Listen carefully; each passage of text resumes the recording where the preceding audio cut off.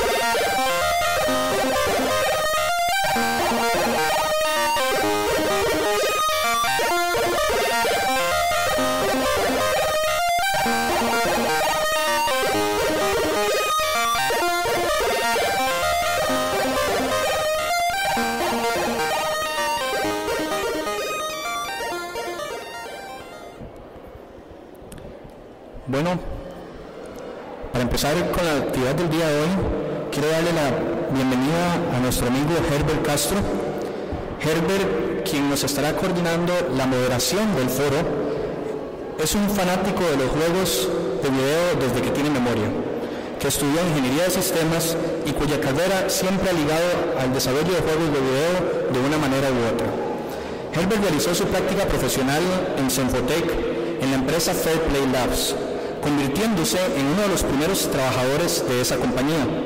Luego de cuatro años, Herbert decidió cambiar de aires y ha realizado distintos proyectos en diferentes compañías del país, desde crear APIs para la plataforma de Bing Maps de Microsoft hasta en otras incursiones en el desarrollo de juegos de video en empresas como Psion Tech, donde inclusive tuvo la oportunidad de hacerle un elevator pitch, una presentación de un juego al mismísimo Hideo Kojima de Sony. En la actualidad, Herbert funge como desarrollador lead en la empresa Intertech y disfruta de una nueva etapa en el mundo del desarrollo de los juegos de video como periodista para el blog Jugador 1 de la Nación. Además, es presentador del programa 7 Bits en Teletica Canal 7 y es colaborador de la revista nacional de juegos de video Level Up, en donde ha cubierto eventos internacionales importantes como el lanzamiento del PlayStation 4 en Panamá y el Entertainment Electronic Expo 2014 en Los Ángeles, California. Con ustedes, por favor, recibimos con un aplauso don Herbert Castro. Bueno, buenos días. Muchas gracias Alex por esta presentación. Eh, y muchas gracias al MISIR por organizar este foro, realmente muy importante, pues existe un vacío de información en Costa Rica sobre la, eh, proyectos tecnológicos muy importantes de calidad de exportación que se hacen día a día y que la gente no sabe. Por ejemplo, incluso en ese anuncio de videojuegos, ahorita hay un juego que se llama Micromon, que está en primer lugar en la tienda de Apple y no, no es de conocimiento general. Y de la misma forma existen muchas empresas en Costa Rica que ya llevan años creando y aportando cosas increíbles a la industria y que no se conocen. Para empezar a cambiar esto, tenemos este foro con cuatro empresas de desarrollo de videojuegos presentando su trabajo, como son Fairplay Labs, Joan Works, Green Lab Studios y Interactive. Por cada uno de estos estudios eh, tenemos un representante que nos contará un poco de su trabajo y de lo que han hecho. Así que por favor, eh, los representantes de cada estudio suban a la tarima para presentarlos al público. Felipe, Virgilio, Eduardo, Joanchi, Chan.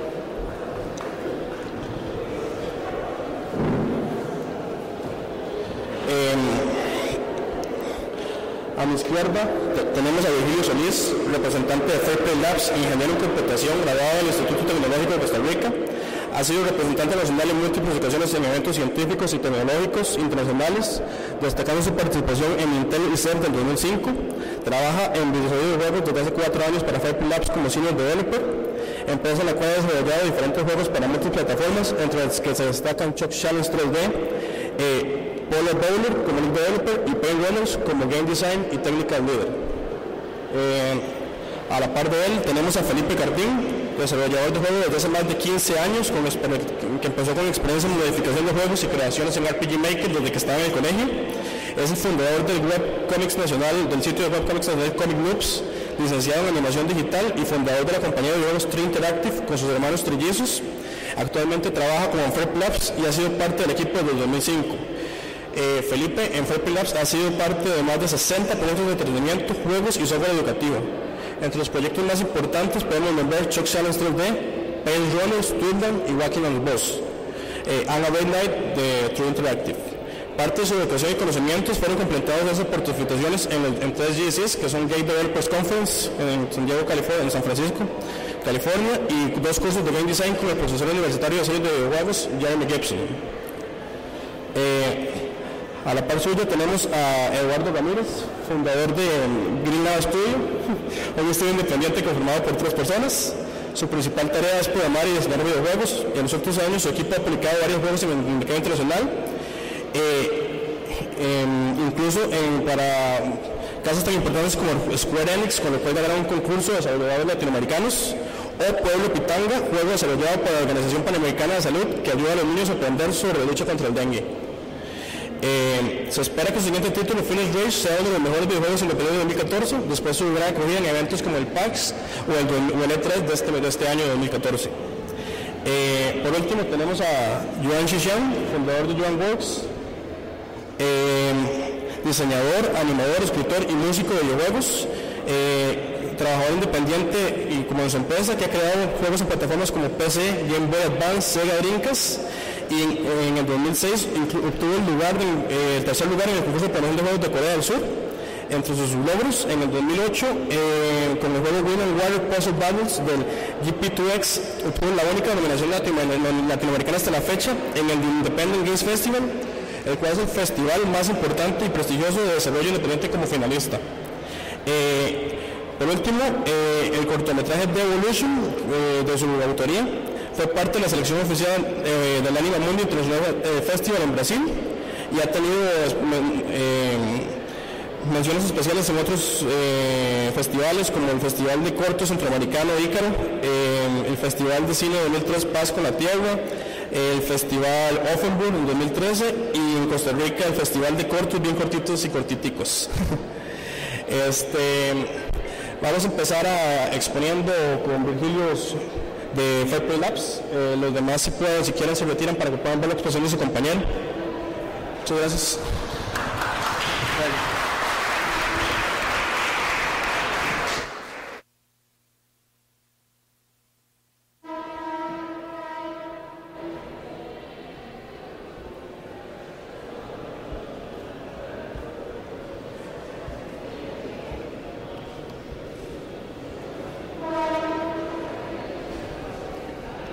Buenos días a todos. Eh, como ya Herbert les comentó, yo vengo en representación de Fairplay Labs. Mm, primero que todo, quiero unirme a, Herbert agradeciéndole al MISIR por, organizar esta actividad. Creo que es un gran comienzo para que la industria de los videojuegos de Costa Rica se empiece a a conocer en el país. Yo vengo a contarles, pues, eh, en particular dos cosas muy puntuales. Primero, de qué se trata Lab, ¿verdad? Como empresa, qué es lo que hacemos. Y segundo, cuál ha sido nuestro camino a través de todo este tiempo, a través de los ocho años de existencia que ha tenido la empresa en el mundo de los videojuegos. ¿Cuáles, han, sido los puntos de cambio? ¿Cómo, cómo Labs ha tenido que irse adaptando a los cambios de la industria rápidamente para poder sobrevivir en ella? Ok, primero, acerca de Fairplay Labs, bueno, nosotros somos una empresa totalmente costarricense, eh, con más de 8 años de existencia y nuestro estudio pues, especializa en todas las áreas del desarrollo de videojuegos, de nuevo con, más de 8 años de experiencia en todos estos campos y pues básicamente esos son nuestros servicios. Desde un punto de vista de negocios, Labs se dedica específicamente a dos cosas eh, bueno, la, primera y tal vez eh, la que más nos gusta a todos, eh, todos nosotros los desarrolladores, es el desarrollo de, IP propia, propiedad intelectual de, nosotros.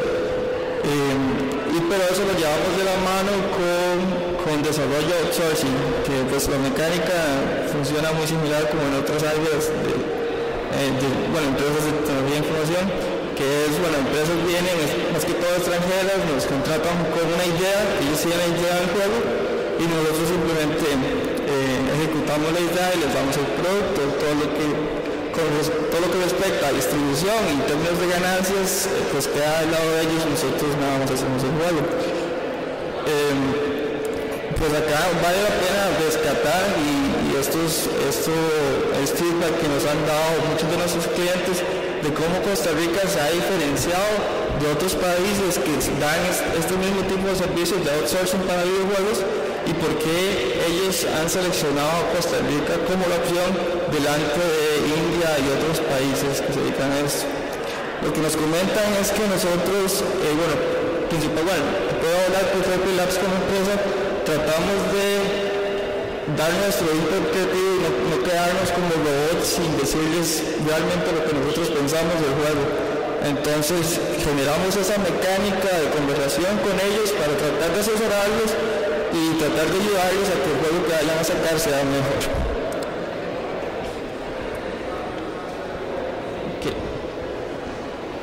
Les, voy a, mostrar un video que pues muestra bueno, algunos de los proyectos que hemos desarrollado en Pepe para que tengan una referencia.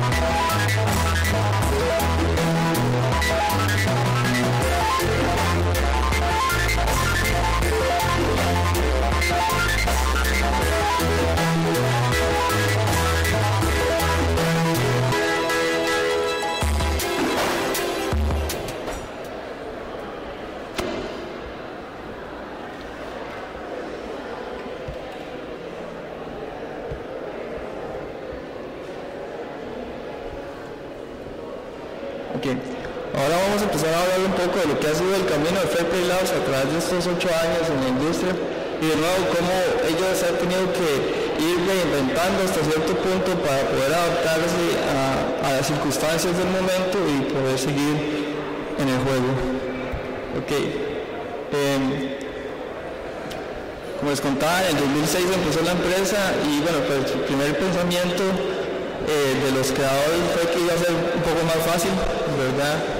Eh, en el 2006 se tenía un proyecto un poco ambicioso, se llamaba Evolution, eh, y estaba enfocado a, consolas de Nintendo. En ese momento era el, Game Boy Advance. Eh, y pensamos que iba a ser un total éxito. Resulta que fuimos, presentamos el juego y, Nintendo, para sorpresa de nosotros, porque desconocíamos el medio, no era tan abierto como pensábamos para desarrolladores independientes. Entonces, todo este rollo de conseguir eh, lo que llaman development kits, que es el hardware que se utiliza para desarrollar para esas consolas, era supremamente complicado y no era que se lo daban a cualquiera. Resultaba que había que ser un, license developer, que es un, un, desarrollador certificado de ellos para que ellos le dieran a uno este hardware para que uno pudiera desarrollar juegos. Entonces pensamos, ok, bueno, lo que tenemos que hacer es license developers. Y nos encontramos dos problemas en particular. Que teníamos que tener juegos publicados para optar por esta oportunidad, cosa que en el momento no teníamos, y que, y que bueno, pues podría, que eso se podría solucionar también teniendo eh, dentro del equipo gente que haya publicado juegos, no necesariamente dentro de esa empresa, sino otras cosa que tampoco teníamos. Y pues obviamente eso fue un balde de agua fría para nosotros y, bueno, pues fue problemático. O sea, toda la perspectiva que teníamos nos cambió y en ese momento tuvimos que eh, tratar de nuevo de, ver cómo hacíamos para ganar esa experiencia que ocupábamos para hacer el license developers de Nintendo y, en algún momento optar por esos development kits y todo todo el interés de Nintendo para que nosotros pudiéramos publicar con ellos el juego.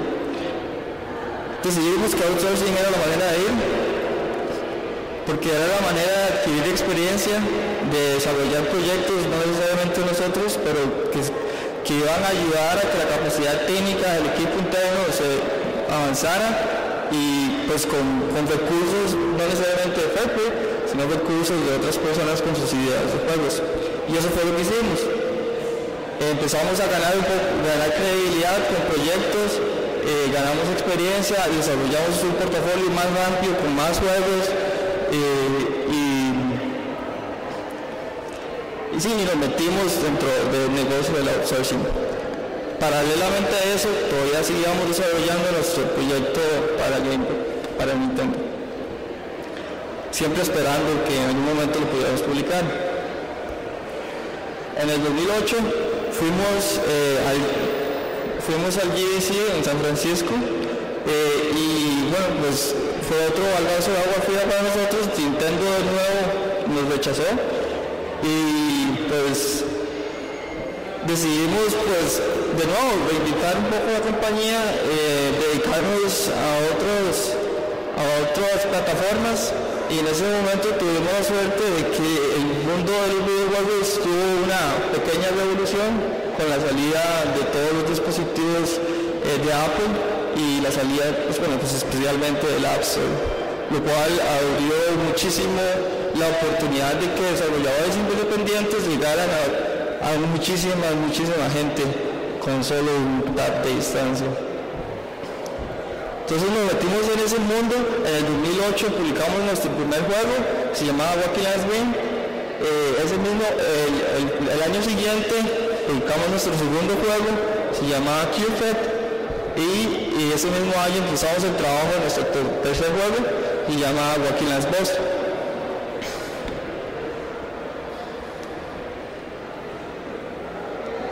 Entonces, si vemos como el timeline de, de Labs, se puede decir que, bueno, nosotros hemos, nos hemos movido a través de muchísimas plataformas, siempre ajustándonos al momento y a las circunstancias de la industria. Eh, empezamos con, con mucho software educativo para PC, están abajo, instalado ahí. Eh, después nos metimos con online games, con Flash, después nos metimos con mobile, eh, iOS y después para Android.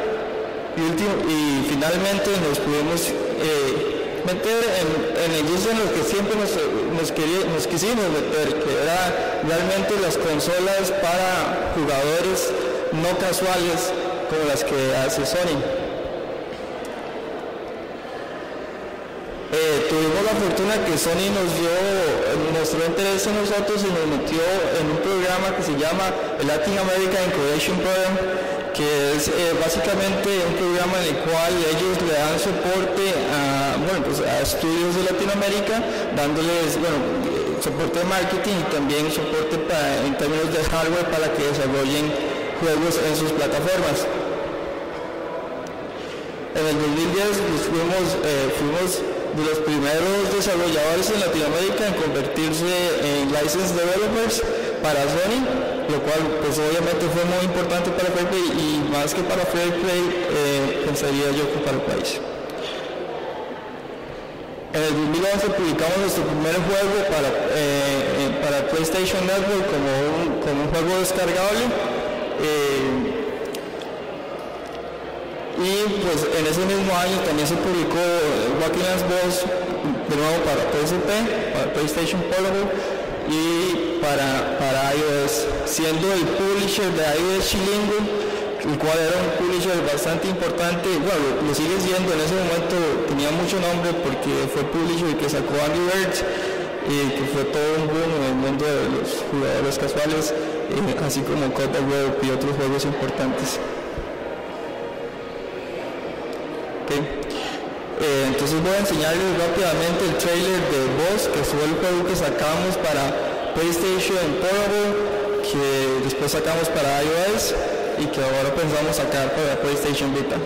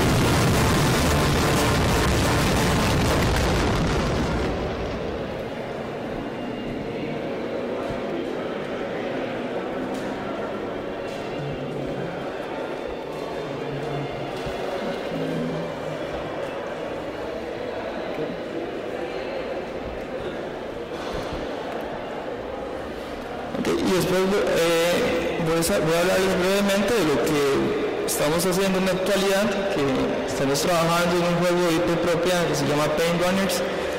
Y este juego nació de un proceso creativo que se acostumbra a hacer en Fairplay Labs eh, cada año, cada dos años más o menos, que es básicamente todo el equipo se va a un de montaña, hacemos cuatro o cinco grupos y cada uno de los equipos tiene que hacer un juego en el fin de semana. Penguin fue uno de los juegos que se hizo ese fin de semana y después se decidió desarrollarlo y ampliarlo para, en ese momento para móviles. Esa era la idea inicial.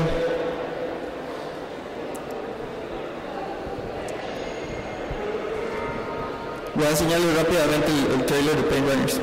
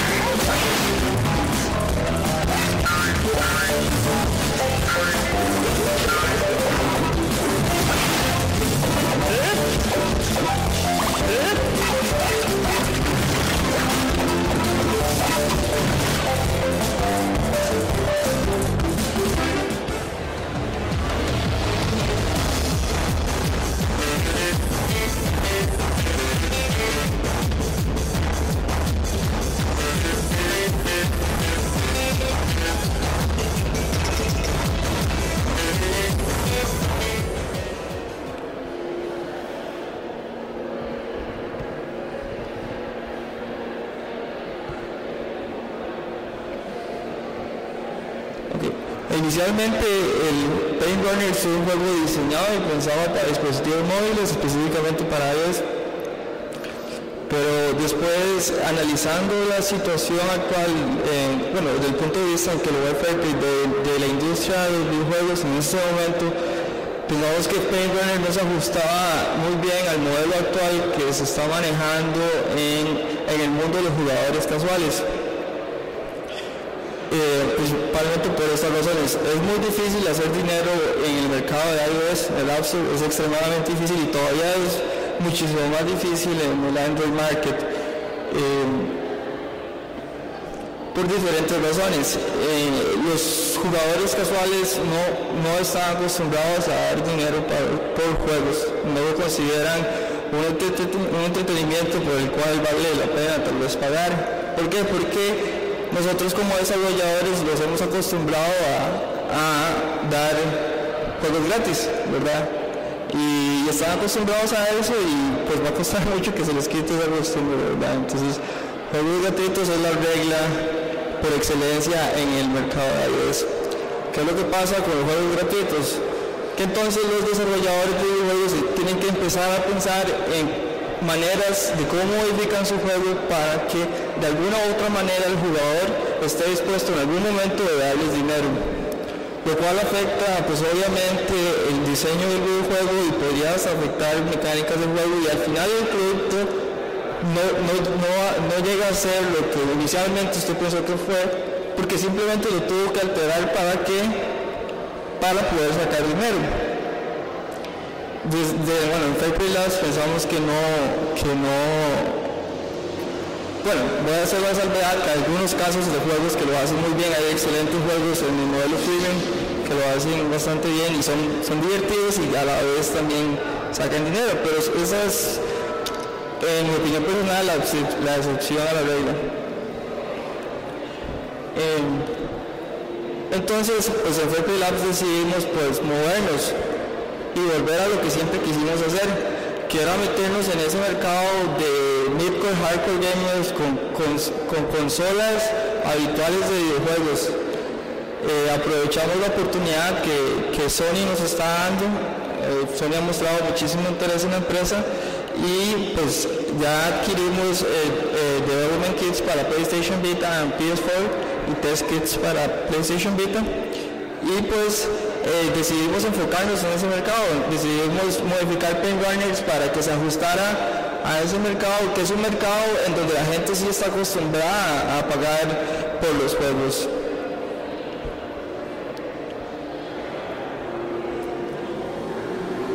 Y sí, este es nuestro futuro. Vamos a trabajar en PS Vita eh, para, para vos y después vamos a trabajar para PS Vita y, PS4 con, con Crossbuy eh, para Paint Runners. Muchísimas gracias.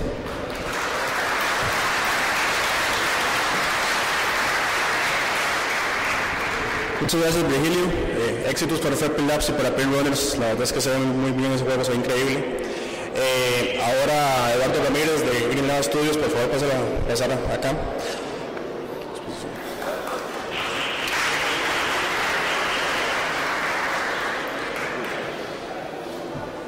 Cupo agua. Vamos a ver.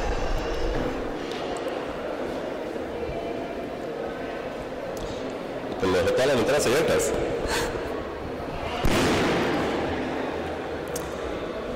¿Eh?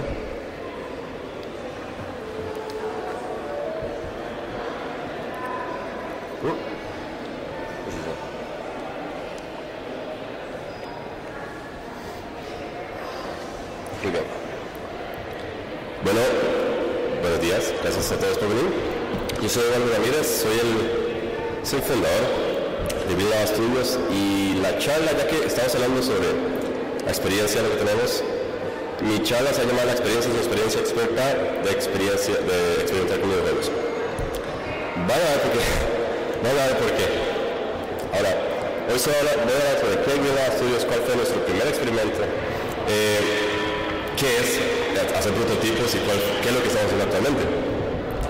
Ahora, en pocas palabras, Studios es un estudio independiente de videojuegos. Es decir, tenemos tres departamentos Departamento de arte, departamento de programación y departamento, departamento de música, que está representado por una persona, literalmente, porque somos tres personas. Yo soy el, yo soy el CEO, pero eso es como un, es como un chiste. ¿Ok? Eh, yo, el programador, soy el programador CEO. En los últimos años hemos hecho varios juegos, es decir, desde prototipos, desde juegos de impacto social, hasta juegos educativos, hasta juegos que simplemente son, no sé qué son. Y bueno, lo que quiero decir es que eh, ya tenemos unos cuantos, unos cuantos títulos por ahí. Eh, ahora, ¿qué es nuestro primer experimento? Y quiero ir más atrás con qué Studios es desde el momento que se fundó. Fue en el 2010.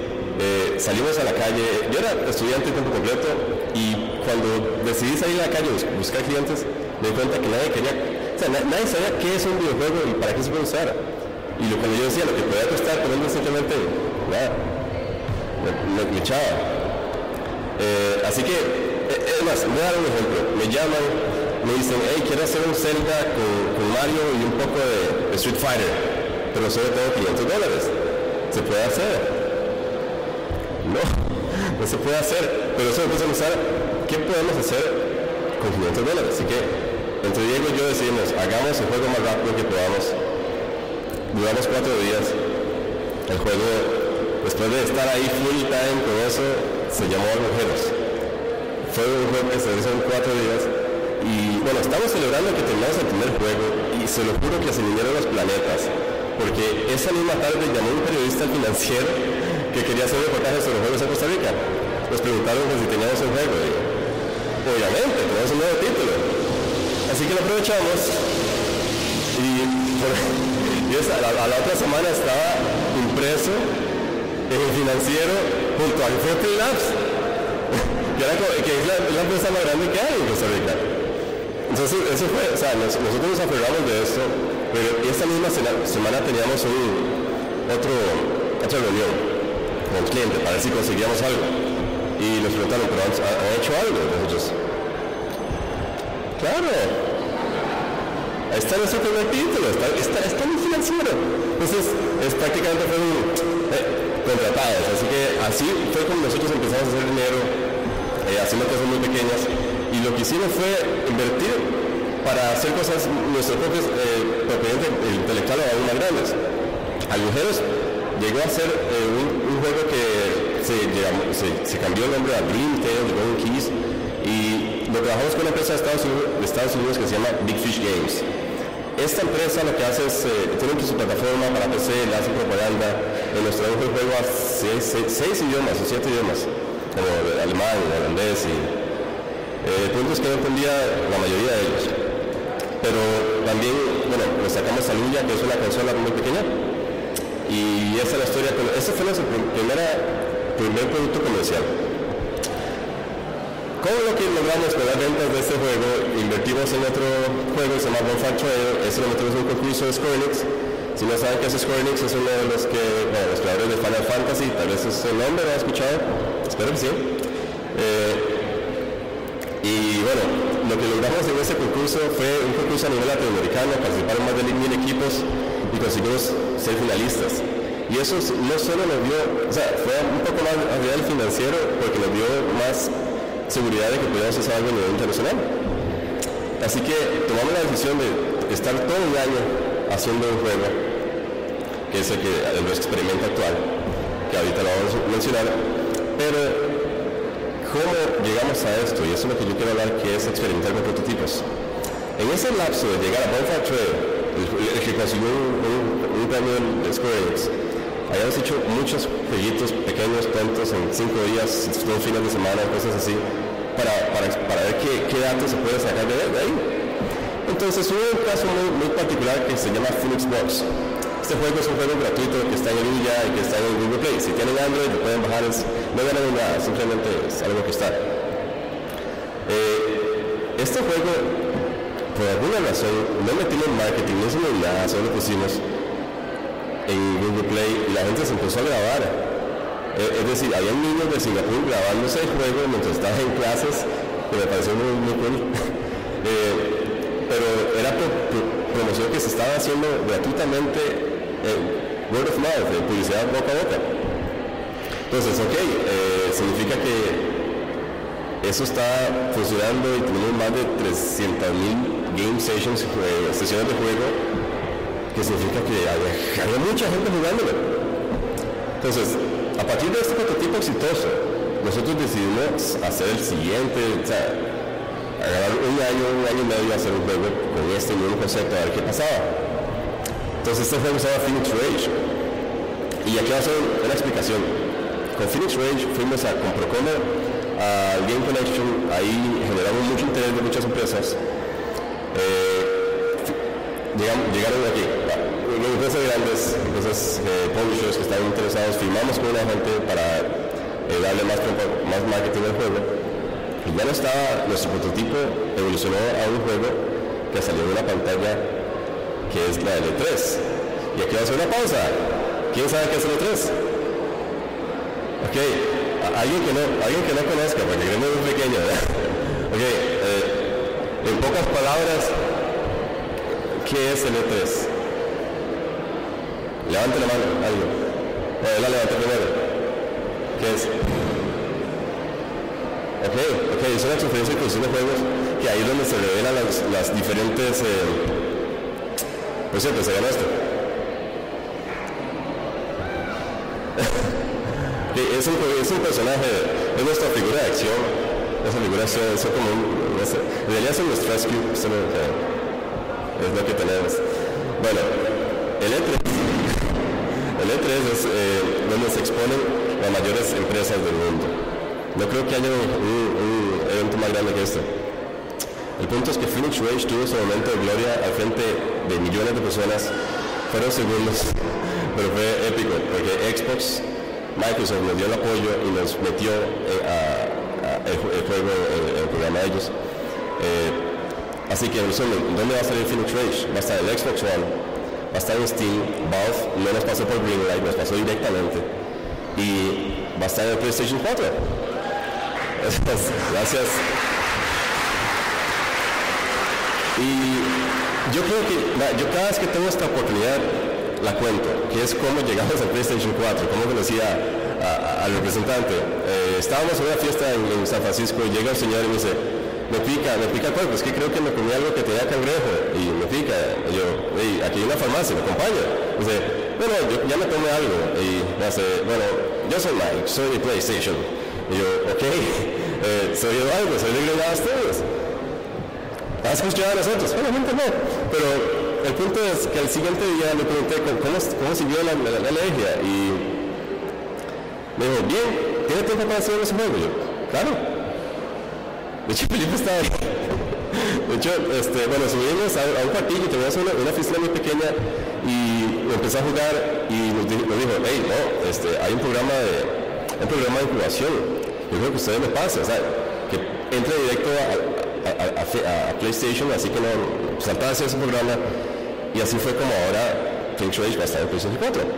Solo porque alguien se comió un cabrón. así que eh, el mensaje es, uno nunca sabe, tiene que ser siempre cortés. Ahora, eh, escaló también muy rápido en, el PlayStation 4.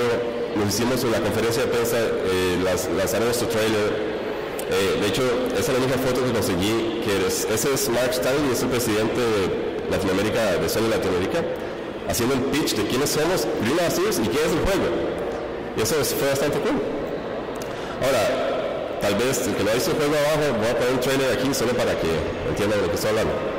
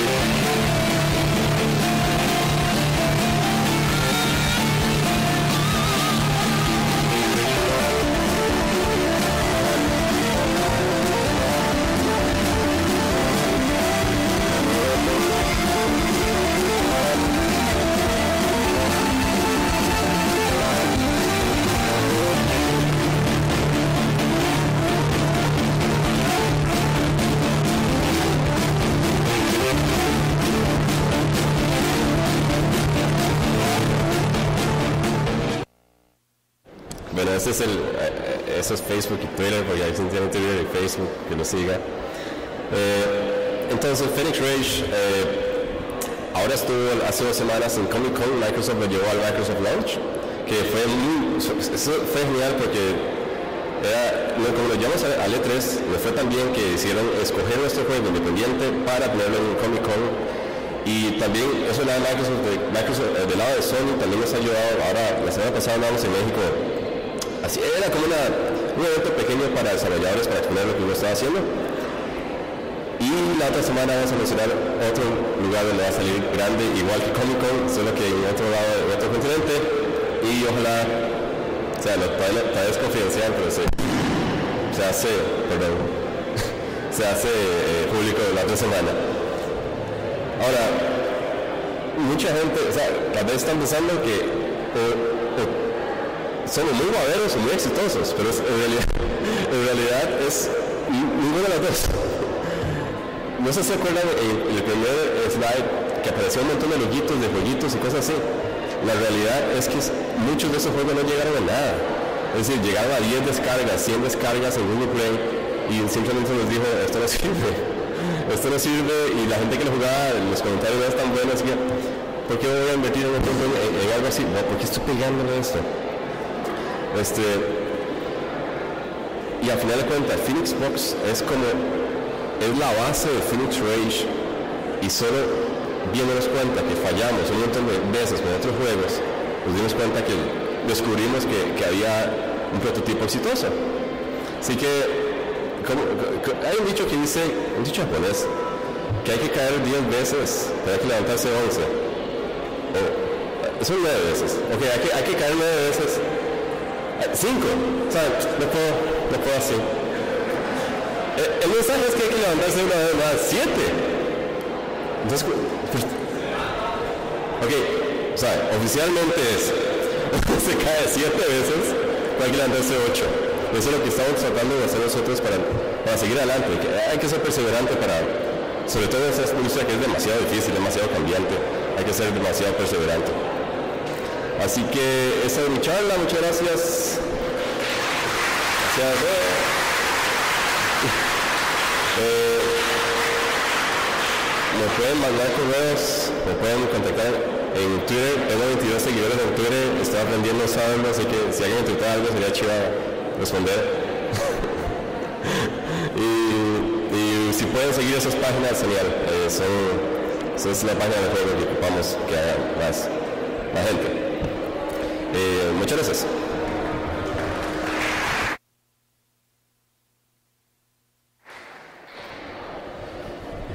Bueno, excelente charla Eduardo y realmente le están corrigiendo, pero yo no creo que haya un número finito de esos para caerse y levantarse.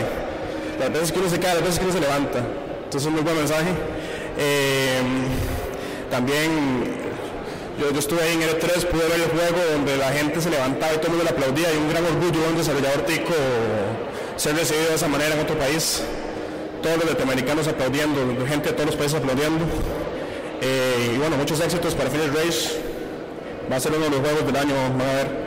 Eh, ahora sigue eh, Felipe Cartín de True Interactive eh, para que nos cuente pues, un poco sobre su empresa y sobre su experiencia. Gracias.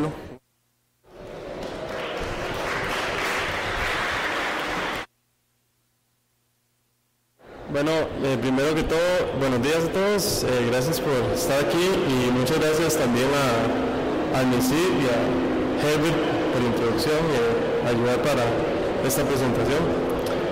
Eh, bueno. les voy a hablar un poco sobre True Interactive. Eh, somos una compañía, somos una, bueno, esto es lo que vamos a ver, de quiénes somos, las plataformas que, que, desarrollamos, nuestro arte, más o menos lo que, lo que hacemos, nuestros juegos e ideas y y bueno, y I Am a Great Night, que es el juego que estamos exponiendo abajo y que les voy a explicar un poco el proceso de cómo desarrollamos ese juego. Este, bueno, ¿quiénes somos? Bueno, yo soy yo, soy trillizo, soy, tengo dos hermanos que también son creativos. Los tres desde chiquillos siempre queríamos hacer videojuegos desde que teníamos como 8 años. este, hasta que un día decidimos hacer una compañía de casualidad, uno es programador, otro es músico y yo soy entonces hacemos un equipo que se complementa bastante bien. Este, nosotros empezamos a meternos en el mundo de los videojuegos como en 1997 por ahí, empezamos a hacer modificaciones de juegos, a agregar texturas a, juegos conocidos como Madden NFL o FIFA 98 en compu empezamos a, meter, ya, a modificar uniformes de Francia y le, metíamos en nuestra marca que era Tricomix, que se llamaba en ese momento, se lo ponemos de la camisa, poníamos nombres de jugadores. Después de eso este, empezamos a meternos en el mundo de modding en Quake 2. Eh, nos enteramos que había un costarricense que había bajado este juego que llamaba Quake y él logró usar a un personaje enemigo en lugar del personaje principal. Cuando yo vi eso era la primera vez que yo veía que alguien podía modificar un juego. Eso nos inspiró a mí y a mis dos hermanos para el resto de la vida, yo creo. Y dijimos, si él, si él pudo hacerlo, él tenía como 16 años y nosotros tenemos como 12 en ese momento, entonces decidimos que íbamos a hacerlo. Entonces cuando salió Quake 2, eh, ahorramos todo, todo lo que nos dieron de Navidad, compramos Quake 2 y después nos pusimos a investigar a ver cómo podíamos modificar. Em, empezamos desarrollando, bueno, metiéndonos un poco en lo que era el map making. Había toda una comunidad para hacer mapas y después de modelos 3D. Yo en realidad siempre dibujaba personajes y, monstruos y cosas así. Yo lo que quería era meter personajes. Entonces me puse a, aprender a modelar solo en 3D con tutoriales de internet y cosas así. Esto en el 97 cuando internet no tenía nada o sea, eran muy, muy pocas cosas en realidad, entonces era muy difícil encontrar todo. Y después de eso pasamos, eh, seguimos desarrollando pero para 3 y, y, bueno, y después de eso seguimos, cuando ya nos grabamos en el colegio, decidimos que ya íbamos a empezar a, estudiar lo que queríamos. En este momento no existía carreras de animación digital del todo, lo más parecida era diseño diseño, digamos, y gráfico, y en realidad no era exactamente eso. Yo lo que quería era hacer juegos, entonces eh, nosotros tres, los tres nos metimos a programación al inicio em, y empezamos a ir como a, ver qué podemos hacer. Nos bajamos a PG Maker, que es, un, es, un, es una herramienta para poder hacer juegos tipo RPG, que son como Final Fantasy y ese tipo de juegos, y empezamos a hacer ediciones y nuestros propios juegos y nuestras propias historias. Eh, y después empezamos a desarrollar, cuando ya empezamos a programar, el primer proyecto programado en programación 3, que, que era a libertad de nosotros, era tratar de hacer un engine, game engine, entonces hicimos de hecho dos, tratamos de hacer dos game engines que los dos fueron, de, sirvieron de experimento y logramos hacer un minijuego ahí en cada uno. Eh, este era el XD Engine y el Xeno Engine, los dos se terminaron votando. y seguimos haciendo de todas maneras un montón de proyectos con Delphi, Visual Basic y todo eso. Una vez, digamos, después abrieron animación digital en Ladritas, yo me metí ahí, eh, salí de ahí inmediatamente, bueno, mientras estaba ahí eh, estudiando, eh, Labs me contactó a ver si quería trabajar con ellos y yo les dije que sí y, después de eso fue agarrar experiencia en todo lo que podía y finalmente poder desarrollar mi propia compañía. Este, nosotros tenemos experiencia en desarrollo en estas plataformas, Android, iOS, HTML5, Game Boy Advance, Nintendo DS, PSP y ahora PS4. Eso es básicamente gracias al conocimiento que, que nosotros adquirimos en, en Labs. Eh, lo que hacemos es software analysis, game design, game development, software development y también eh, music development y arte en realidad, que hace falta aquí. Em, sobre el arte, bueno, yo me he enfocado bastante en, bueno, tratar de abarcar muchas áreas. Eh, la primera en estudiando animación digital era ambientes 3D y personajes 3D eh, y vehículos y tratar de dominar esto, ¿verdad? Y poco a poco también ir mejorando en, la calidad de ilustración y tratar de meterle a, lo que más me apasiona, que es personajes y, ambientes y generar estos eh, diferentes no sé, como trata, tratar de generar ilustraciones que tengan algún tipo de idea detrás. Este, bueno, entonces nosotros ya hablando ya propiamente de Tree, nosotros tres siempre que tratamos de desarrollar algo, tratamos de poner tres reglas cuando vamos a empezar a, pensar en videojuegos. La primera es que sea un juego sumamente creativo, que sea innovador, que sea algo que no se haya visto, eh, ojalá que no se haya visto y que, sea, que tenga un reto estético y técnico. Entonces siempre tratamos de buscar algo que sea diferente, que sea creativo y que sea algo innovador. Em, hace unos, ¿cuándo fue? Creo que fue hace dos años ya, lanzamos Tweetland, que fue eh, nuestro primer juego. Este tuvo bastante boom en, los medios sociales, salió, nos entrevistó CNN, salimos en Wired Magazine, este, salimos en indiegamers.com y en, Touch Arcade también, en el cual nos mencionaron sobre la idea. La idea de este juego era que qué pasaría si lo que la gente tuiteara, eh, pusiera en Twitter, eh, ocurriera en tu juego y fue interpretado de alguna manera. Este, entonces, básicamente es jugar con la realidad. Entonces lanzamos este, bueno, un Kickstarter campaign primero como para poder eh, fundarlo, ahí es donde agarró fuerza la idea y finalmente logramos lanzar el juego que era el primer juego de Twitland iba a ser Ruta 140, este se lanzó y lo lanzamos con, tal vez expectativas medio altas. Em, le fue muy bien las primeras semanas y después no, sacamos ningún update y después ya se fue para abajo. Eh, tuvimos lamentablemente problemas con, los, con la otra compañía de socios, entonces tuvimos que dejar el proyecto de Twitland de lado. Esto claramente este, fue, fue como un golpe para nosotros, eh, de alguna manera, em, tratar de un proyecto que tenía tanto potencial y al final termina siendo nada la verdad es, que es un golpe que hay que tratar de superar. Eh, nosotros desarrollamos esto en 12 meses, eh, fue para iOS, cubierto por CNN, como les decía. Eh, fue 4.5 average rating en el App Store y el segundo update que, ya lo teníamos listo nunca fue lanzado por estos problemas. Este, después de esto seguimos desarrollando otras ideas.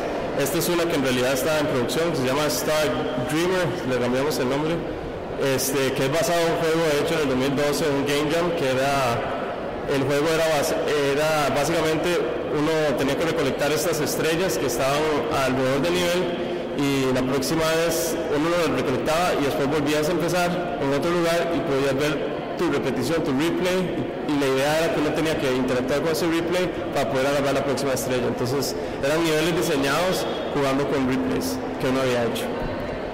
Este, esto está en producción en este momento, estamos, eh, seguimos desarrollando diferentes ideas a ver cómo podemos hacer esto eh, más divertido. Eh, después tenemos eh, otro concepto que, se llama King of the Forest, que, es, que en realidad el concepto es ver a ver cómo podemos, es un equipo contra otro, a donde donde eh, un equipo controla una parte de, un forest que es de un color y tiene que tratar de dominar el otro. La idea es tener varios tipos de personajes que pudieran hacer diferentes habilidades y plantar árboles y árboles y árboles hasta dominar al otro equipo. Este, Radio Amnesia, que fue un juego que salió, bueno, que, lo hicimos también para otro Global Game Jam, que la idea era jugar con sonido.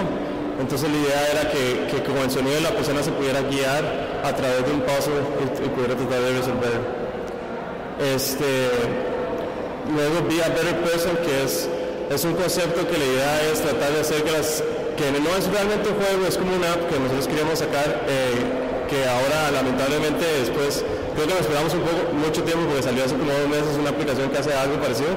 La idea es que uno tenga como un tipo de, tareas todos los días para tratar de ser una mejor persona en varias áreas. Este, una es la, parte de calidad de vida, eh, nutricional, digamos, y también otro que sea como tratar de ayudar a las otras personas y tratar de, siempre estar ahí para la gente. Y después otra que es como el medio ambiente, que es sembrar árboles o recolectar basura. Entonces, la idea de esta, de esta aplicación era que las personas tuvieran un daily to-do list para hacer algo que pudiera mejorar a todo el resto. Y después eh, les voy a hablar un poco del desarrollo de I Am a Brave Knight. Este juego lo estamos exponiendo abajo, este, es un juego experimental que se, se basa bajo una línea. Básicamente en el Global Game Jam de este año este, siempre nos da un tema en el cual hay que desarrollar un videojuego basado en ese tema. El tema de este juego era, ya, We don't see things as they are, we see them as we are. Entonces, básicamente lo que quiere decir es que nosotros vemos las cosas como, nosotros no las vemos como son, sino como nosotros nos vemos a nosotros mismos. Eso es básicamente el punto de percepción de las personas, es súper diferente dependiendo de quién lo ve y cómo interpreta las cosas. Entonces, em, voy a pasar un poco sobre la historia y la justificación y les voy a contar un poco sobre qué fue lo que pensamos. Eh, nosotros tenemos 48 horas para desarrollar este juego este, y no sabíamos la menor idea cómo, qué hacer con, con este tema. Duramos como 14 horas nada más pegados y no, no podíamos hacer nada hasta que ya se nos ocurrió. El concepto original eh, se basa en esta imagen, eh, que es básicamente una imagen sacada de una película que se llama Never Ending Story o La historia sin fin. Es, eh, en esta escena el personaje principal, bueno, hay un personaje en realidad que trata de cruzar estos dos oráculos y la idea es que lo que dicen en la leyenda es que solo puede pasar a través de esos dos oráculos las personas que realmente creen en sí mismas y creen realmente en lo que son, están seguros de lo que son. Entonces, cuando, cuando yo me puse a pensar en esa escena, yo me puse a pensar, ok, ¿qué estaría pensando ese caballero cuando, cuando va a pasar ahí? Porque si él no estaba muy seguro de lo que él era, él iba a morir. Y, y, y, entonces eso como que lo traté de ver de un punto de vista, ok, entonces ¿qué, él está, qué habrá estado pensando él mientras se va hacia su muerte o su salvación? Entonces yo estaba pensando, seguramente él estaba pensando algo como I am a brave knight, él diciéndose a sí mismo lo que él era. Este, lamentablemente en la película él muere, entonces eh, decidimos empezar así el juego, que era como, como los niños veían esta escena. Entonces, uh, en el juego, digamos, hay un segundo mensaje que dice I am a brave knight, abajo salen unas letras. Las letras de abajo dicen death, que significa muerte, que eso es como los niños interpretan esta escena. Este, más adelante nosotros decidimos, nosotros decidimos hacer este juego que tuviera una mecánica interesante, que tuviera un mensaje un mensaje que fuera escrito de lo que estaba pasando en la escena, un mensaje que fuera inconsciente, que es el, mensaje que se logra ver en las teclas de abajo, este, y después la, uy, después, la escena representativa. Este, entonces en esta están los tres niños viendo la historia, entonces dicen que es una, historia extraña y dice abajo Atreyu. Este, luego salen los tres niños que en realidad son trillizos y es como parte de, meternos a nosotros mismos adentro del juego, este, diciendo a los papás que, juran que no se roban ninguna galleta. Este, después este, otro que es el, ya uno de los niños ya más grande, eh, aplicando para un trabajo, diciendo que es el mejor hombre para el trabajo. Este, en realidad este iba un toque antes que era el niño, bueno, el niño que ya es un adolescente diciéndole a los papás que no necesita su permiso para poder salir. Este, después otra que es la primera cita con la, con la, con la mujer que termina siendo la mujer de su vida, que, lo que dice es que me divertí mucho en las películas y el mensaje es que si es esto amor.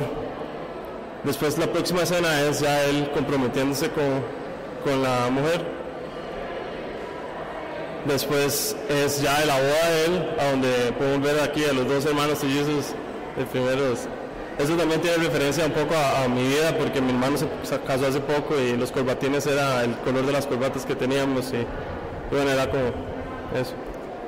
Eh, luego el primer bebé, que era, esto es un milagro, entonces la palabra clave era baby. Este, luego esto, que lo que queríamos era como referenciar la importancia que tiene el trabajo en la vida de las personas, que también no es algo que simplemente uno, uno tiene ahí que lo esconde un poco, es parte activa de la vida, entonces queríamos representarlo.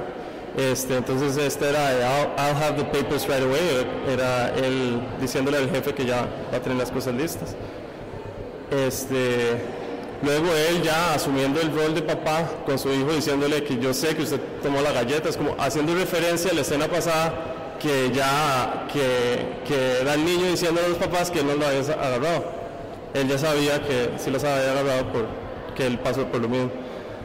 Después el papá diciéndole al hijo, usted sí necesita mi permiso para poder salir, ¿verdad? Que es como otra vez el role rever reversal, como darle una vuelta. Después la próxima escena es los papás viendo al hijo casarse, eh, entonces diciéndose, creo que lo hicimos bien, eh, y la respuesta es yes. Luego este que ya es el, el personaje principal retirándose, eh, diciendo que este ya es mi último día, que adiós y muchas gracias. Después esta que es ya la cena, la cena fuerte, que es este, que vamos a superar esto de alguna manera y la palabra clave es cáncer. Eh, entonces es como, como ver al compañero de vida irse, básicamente. luego es el funeral, a donde es I love you, digamos, es, es el mensaje final. Después hice esta escena que en realidad en la conceptualización inicial de esta escena es el ambiente es el mismo ambiente donde él le pidió matrimonio a ella, este, pero ahora es, es un ambiente mucho más sombrío eh, al propio y el, paso está seco también.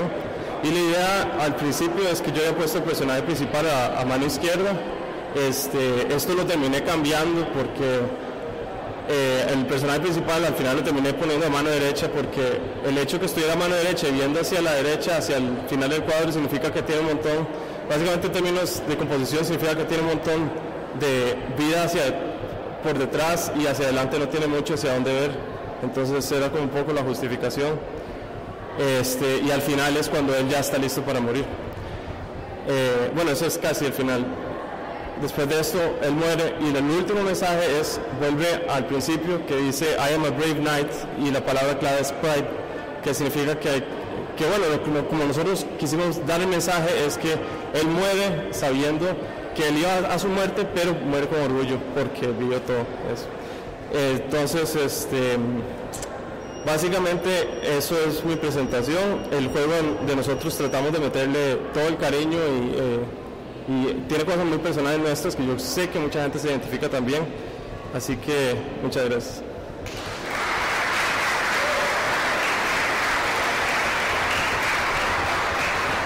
Bueno, muchas gracias Felipe. La verdad es que es muy interesante el juego. Eh, si no lo han jugado está ahí abajo. Eh, es una experiencia realmente. Les recomiendo que se pongan los audífonos y lo jueguen. Y cada uno, Felipe lo explica, pero creo que cada uno tiene una experiencia diferente cuando lo juega. Eso es lo interesante, digamos, de los videojuegos, que uno va creando la experiencia con, mientras lo juega. Y este juego lo, muestra mucho, muy bien.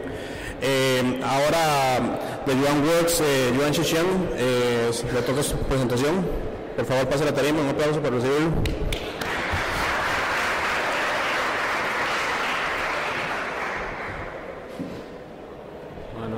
Buenas tardes. ¿Cómo están todos? Ok, voy, a hacerles unas preguntitas así indiscretas. ¿A quién de ustedes le interesa el desarrollo de videojuegos? ¿De verdad? ¿Todos? Ok. Eh, no, no lo voy a tocar porque si no, si no explota. Eh, ok, ¿quién de ustedes ha soñado con hacer un juego cuando estaban pequeños? Bueno, son menos, pero todavía son algunos. Y lo ven factible, lo, ven posible. ¿Quién lo ve posible? Bien optimista. Ok, ya, ya están bajando el, el número de manos que suben. Ok, ¿quién de ustedes en la casa, en algún teléfono, en la computadora o en alguna consola, ¿quién de ustedes no tiene un videojuego? No tiene. ¿Todos tienen algún juego? En el teléfono, en las computadoras o en algún lugar. Bueno, es bastante curioso porque desde Sudáfrica hasta un país como Suecia o Canadá, cualquiera, todos los países tienen juegos de video, incluyendo Latinoamérica, Brasil, Guatemala, Honduras, nosotros que somos países en vías de desarrollo, bueno, esta, no es mi foto, entonces la voy a quitar. Ni, ni esto. Ojalá fuera mío Phoenix, Phoenix Rage, pero no.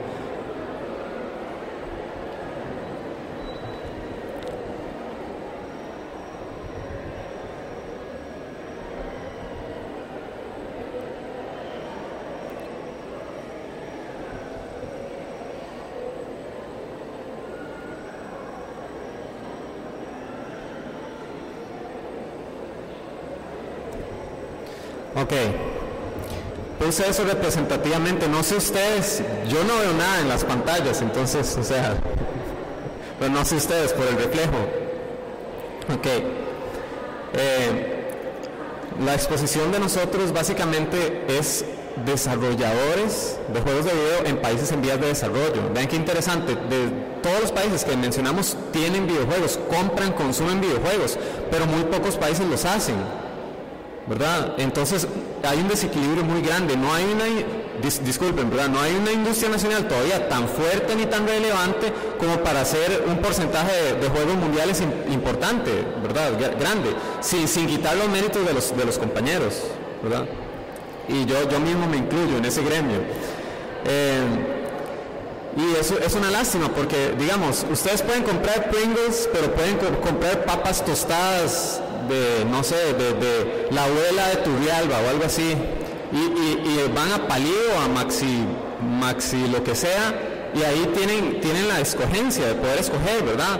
Pero digamos, el, otro día que vino todo el mundo vestido de, Pokémon y Goku y todo, yo fui para un, para un documental que estoy haciendo a preguntar, bueno, eh, ¿cuáles son sus juegos favoritos? Entonces, bueno, Chicharromón y, Mortal Kombat y, bueno, Pistola 19, ¿verdad? Todos esos. Y cuando les preguntamos, ok, ¿cuál es su juego favorito tico o latinoamericano? Dice, no, no, en Costa Rica no hay juegos y nunca los va a haber, porque nadie nunca va a poder desarrollar un juego en este país. Y es interesante porque, digamos, haciendo los cálculos después de, las entrevistas, digamos, sacamos, sacamos la media, ¿verdad? Con, la desviación estándar y el 100% no sabía que se hacen juegos, fue un cálculo muy rápido, ¿verdad? O sea, el 100% no sabía que se desarrollaban juegos en este país. ¿Ok? Entonces es bastante alarmante.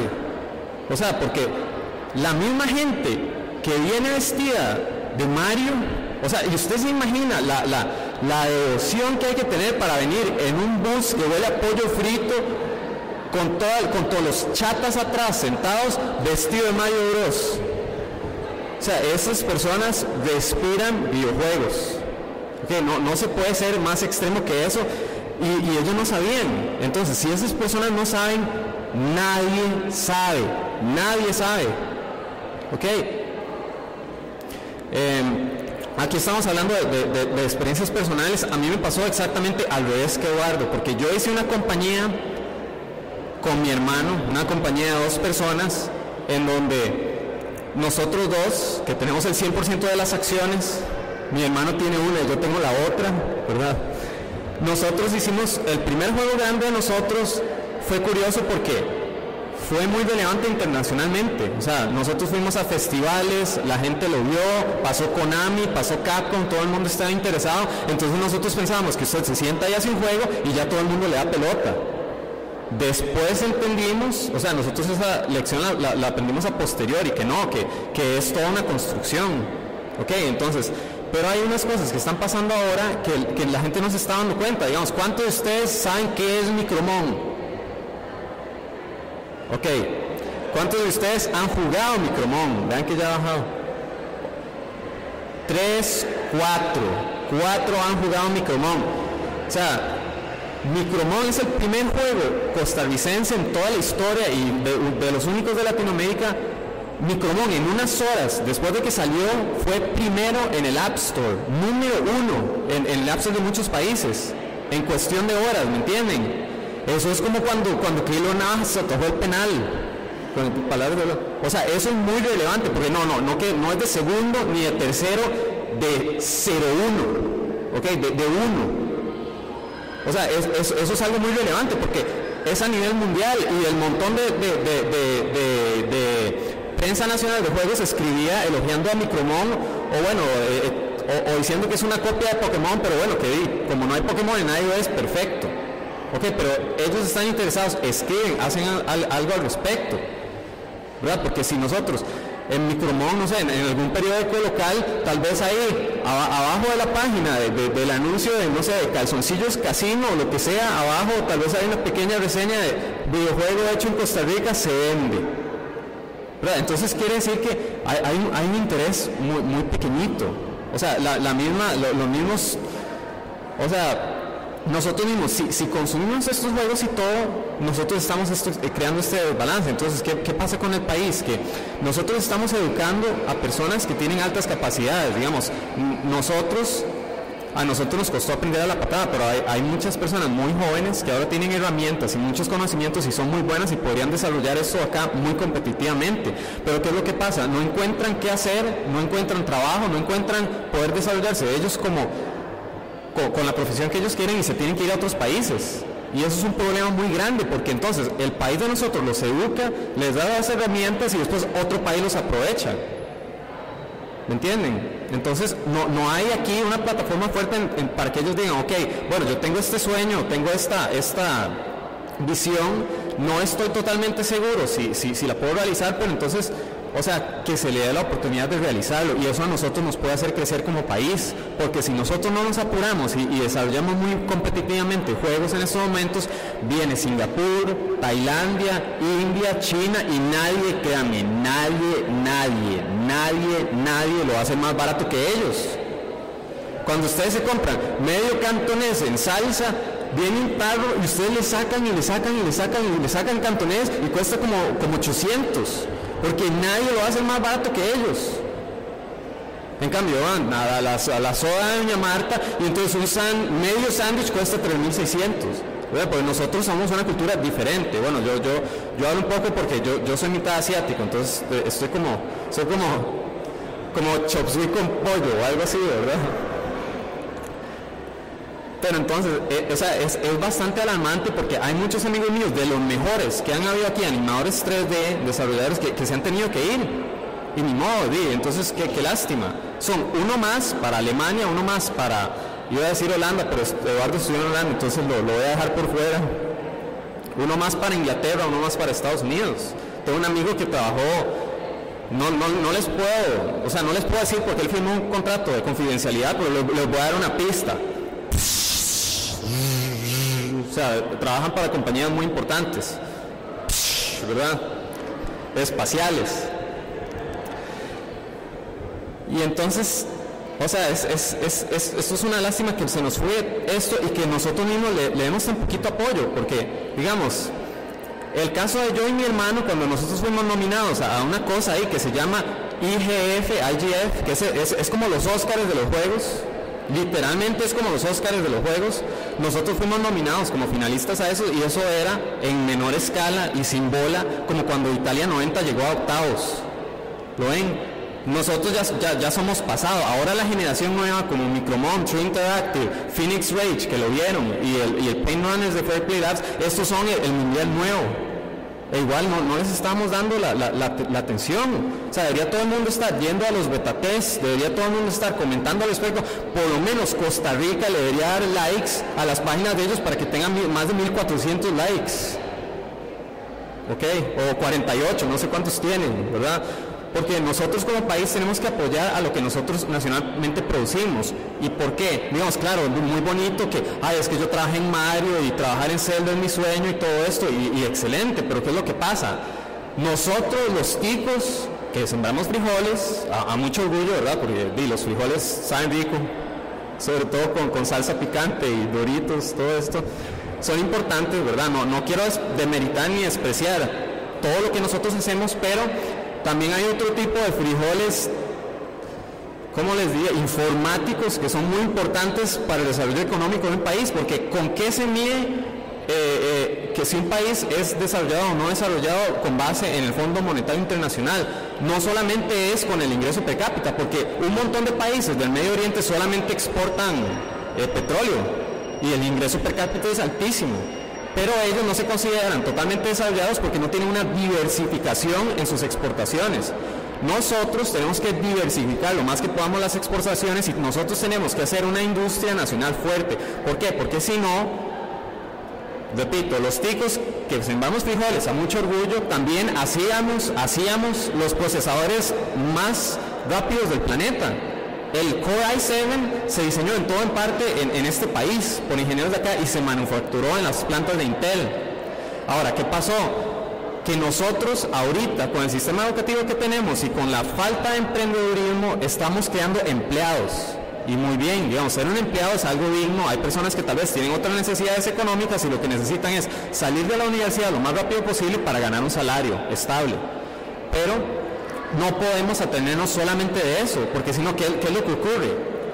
Intel, por, una cuestión, no, es que yo vaya a hablar mal de Intel, ¿verdad? Intel es una compañía transnacional que, ellos tienen estratégicamente que ver. Hay unas cosas que golpean a Intel, no, no, es solo que es culpa de ellos. Por ejemplo, que ahora los procesadores de, teléfono móvil son, son de lo que más se está produciendo.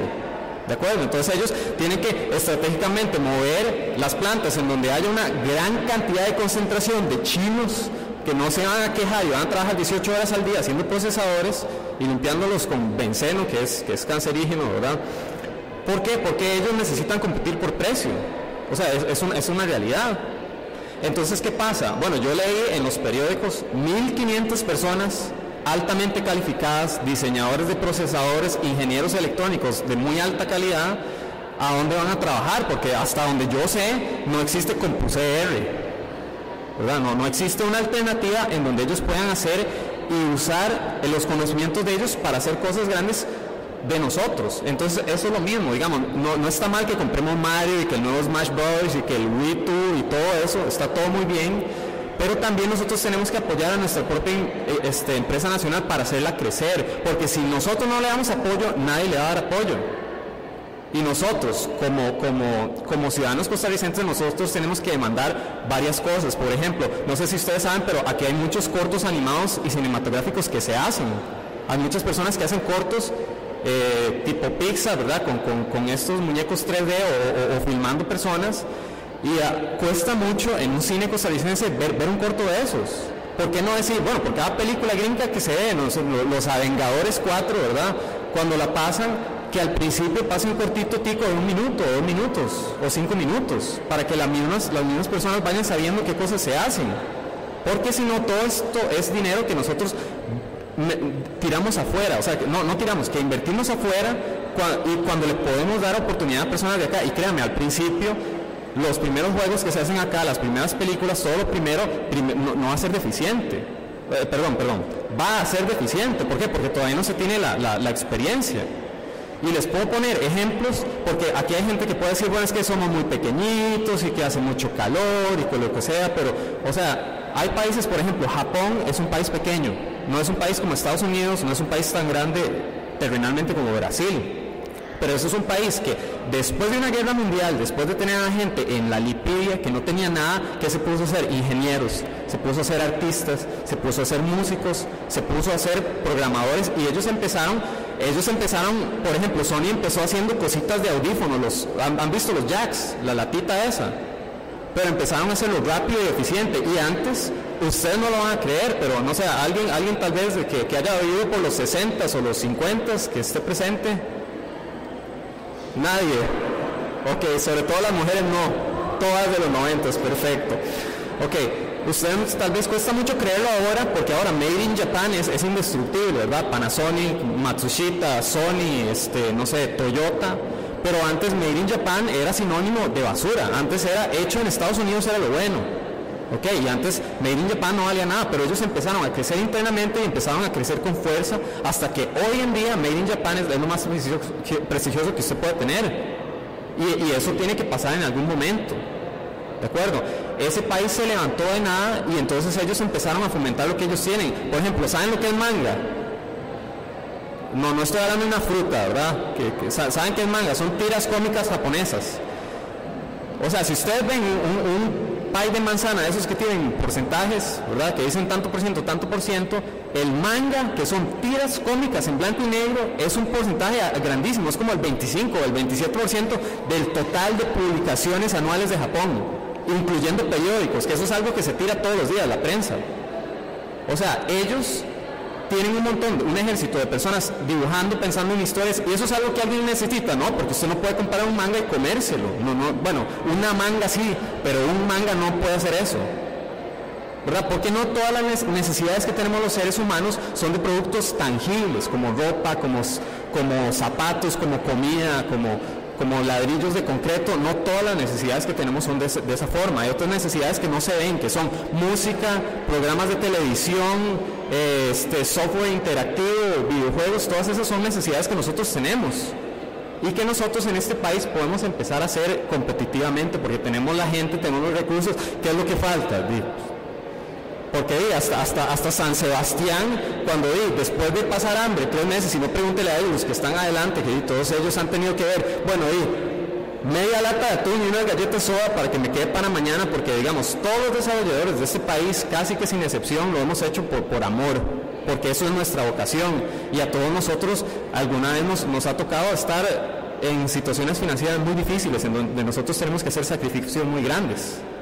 Ok, entonces todo esto lo, podemos cambiar apoyando un poco, no sé, tal vez nosotros podemos preguntar, estar interesados, comprar camisas, calcomanías, cosas, ver, qué podemos hacer nosotros por una industria que si nosotros nos gustan los juegos, si nosotros algún día en el futuro nos interesa trabajar así, si nosotros hacemos bases fuertes va a haber más oportunidades. Entonces el día que, que no sé, Mocosito tenga 19, no va a tener que ver cómo hace un juego solito ahí en el sótano con unos videos de YouTube tutoriales, sino que tal vez Mocosito va a poder ir a alguna compañía y él aprender, instruirse, crecer y tal vez él después va a poder hacer alguna compañía independiente, competitiva. Y que en renombre internacional las personas digan, bueno, Costa Rica conocemos por el café, por Keylor más y por los videojuegos que hace. ¿De acuerdo? Entonces es una llamada para que todos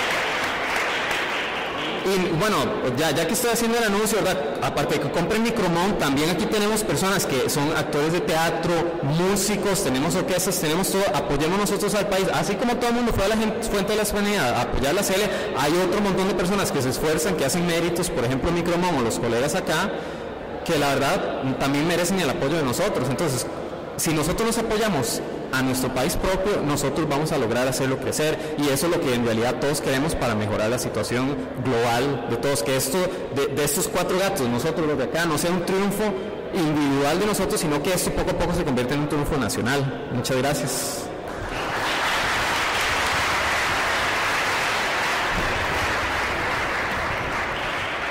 Muchas gracias, Joanchi. Excelente charla y bueno, a mí lo que, lo que, nos está haciendo nuestro compañero en realidad a mí me pega mucho y es algo con lo que yo he venido luchando. Yo que tengo, ya entendí que fue lo que hizo Felipe. Eh, cierto, cierto manejo de medios, digamos, eh, es muy difícil a veces que nos pongan atención. Eh, no voy a decir con quién, pero digamos, yo estaba pulseando que esto de Micromón saliera en noticias, le dieran, le dieran como más, más bola, como decimos coloquialmente, y es como, yo, yo les, decía justo el mismo ejemplo que yo, yo eso es como que los lados en el Madrid, un juego de Costa Rica está en primer lugar en, en, el App Store, y sin embargo, no sé, como que es muy difícil, pero bueno, ahí poco a poco vamos mejorando esto. Eh, y bueno, es una cuestión de todos, y más bien gracias a ustedes por venir acá porque es parte del apoyo. Ahora quiero invitar a, los cuatro desarrolladores a que vengan adelante para una sección de preguntas y respuestas. Entonces, si tienen alguna pregunta que hacerles cuando que se les ocurrió en la exposición o algo que quieren saber, eh, este es el momento. Eh, no sé si hay alguien con un micrófono ahí o, o bueno, o se acercan a,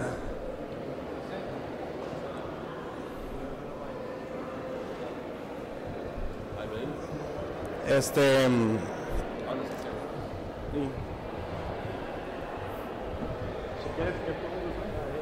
Sí. Ah, ah, un momento, un momento, ya, ya les consigo su micrófono.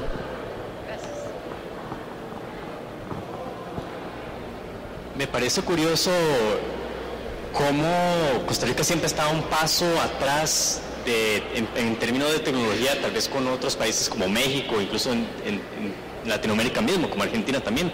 Entonces, este, me parece curioso eso de que todos ustedes lo que eh, buscaron fue desarrollar para consolas, cuando en el ámbito internacional lo que se oye es que el, mercado de las consolas más bien se está achicando.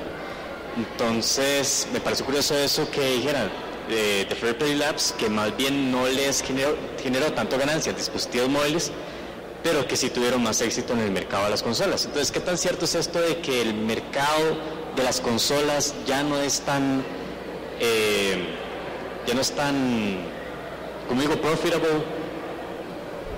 como, como antes? Eh, no sé, ¿cuál quiere responder?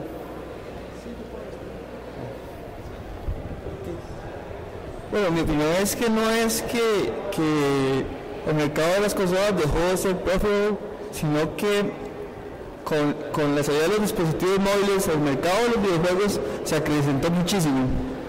Eh, nació lo que llamamos los casual gamers, y entonces muchas empresas se enfocaron en ellos. Entonces, mi punto es que el mercado de las consolas sigue siendo como lo es, eh, no creo que haya crecido, sino que en términos de porcentaje, eh, hay más casual gamers que hardcore, midcore gamers, entonces mucha gente se está yendo por el desarrollo móvil, por, específicamente por eso, no porque los midcore o hardcore gamers dejaron de existir o estén eh, disminuyendo. Disminuyendo, sí. Aló, aló, un momento. No, para, para agregar algo, es que nosotros, incluyendo Fairplay, que es, que es el desarrollador más grande nacionalmente, nosotros lo que cubrimos es un mercado nicho, ¿verdad? Porque nosotros no somos Coca-Cola, nosotros somos, no sé, algo hipster, Jones, ¿verdad? Nosotros somos Jones, ¿por qué? Porque nosotros no podemos hacer en estos momentos más efecto, no sé, cuáles son los, los grandes éxitos del momento, eso, no, no sé, GTA 5, ¿verdad? Nosotros no podemos hacer ese tipo de, de software que es, que es como la Coca-Cola, que es más universal y se cubre por todo lado. Entonces, para los desarrolladores nacionales un nicho como el, bueno, el de las consolas todavía no es un nicho, eso todavía es un mercado muy grande, pero sigue representando un mercado importante para nosotros. ¿De acuerdo? No sé si eso ayuda a responder su pregunta.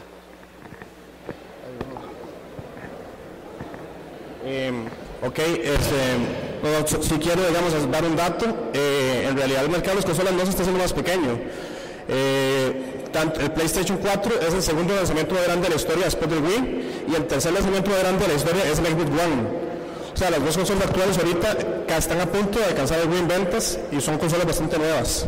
Entonces realmente el mercado más bien yo creo que en general se está haciendo grande. Ah, como la PC se hace grande, las consolas se hacen grande y en general esto es bueno para la industria en general. Eh, ah, bueno. Eh, buenas tardes, ya casi. Voy a aprovechar para un comentario y un par de consultas. El comentario es que quizás soy de las personas, no sé cuántos más, pero yo sí que estoy tremendamente impactado a nivel positivo del trabajo que ustedes están haciendo. ¿verdad? Realmente no me lo esperaba. Y es una pena que quizás en este país todos tengamos que pasarlo al fútbol para entender la magnitud, pero realmente ayuda, ¿verdad? Y el primer comentario que hago es felicitarlos a todos por el trabajo que están haciendo y de verdad se siente muy bonito ver producto costarricense enlazado con esas grandes empresas que al menos como usuario uno las ha visto alguna vez. Entonces, mis felicidades para ustedes cuatro eh, y los que más estén detrás de ustedes también. Y las dos consultas, aunque el compañero al final casi que las tocaba, pero muy concretas es, la número uno, hiciste la pregunta de cuánta gente quisiera desarrollar juegos. Muchos levantaron la mano.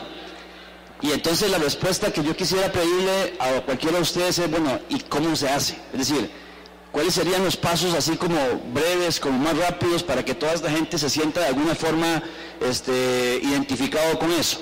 Y la segunda, ustedes que ya son empresarios prácticamente profesionales en lo que hace, ¿qué necesitan? O sea, decir, ¿cuál es el, el, el impulso a nivel país que se necesita para que esto explote como ustedes y todos quisieran que explotaran.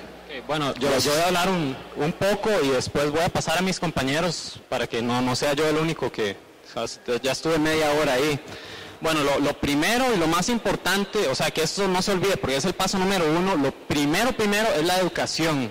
O sea, nosotros cuatro, cinco, bueno, incluyendo a Herbert, que también ha sido desarrollado en algún punto, nosotros todos tuvimos muy buena educación. A pesar de que, digamos, el sistema costarricense tiene sus problemas aquí y allá, nosotros pudimos tener una muy buena educación y eso es lo primero. O sea, sin educación no, no, hay ningún tipo de, posibilidad de expandirse en nada. Entonces lo primero es de no es en el colegio, no es en la universidad, o sea, eso, eso les va a ayudar.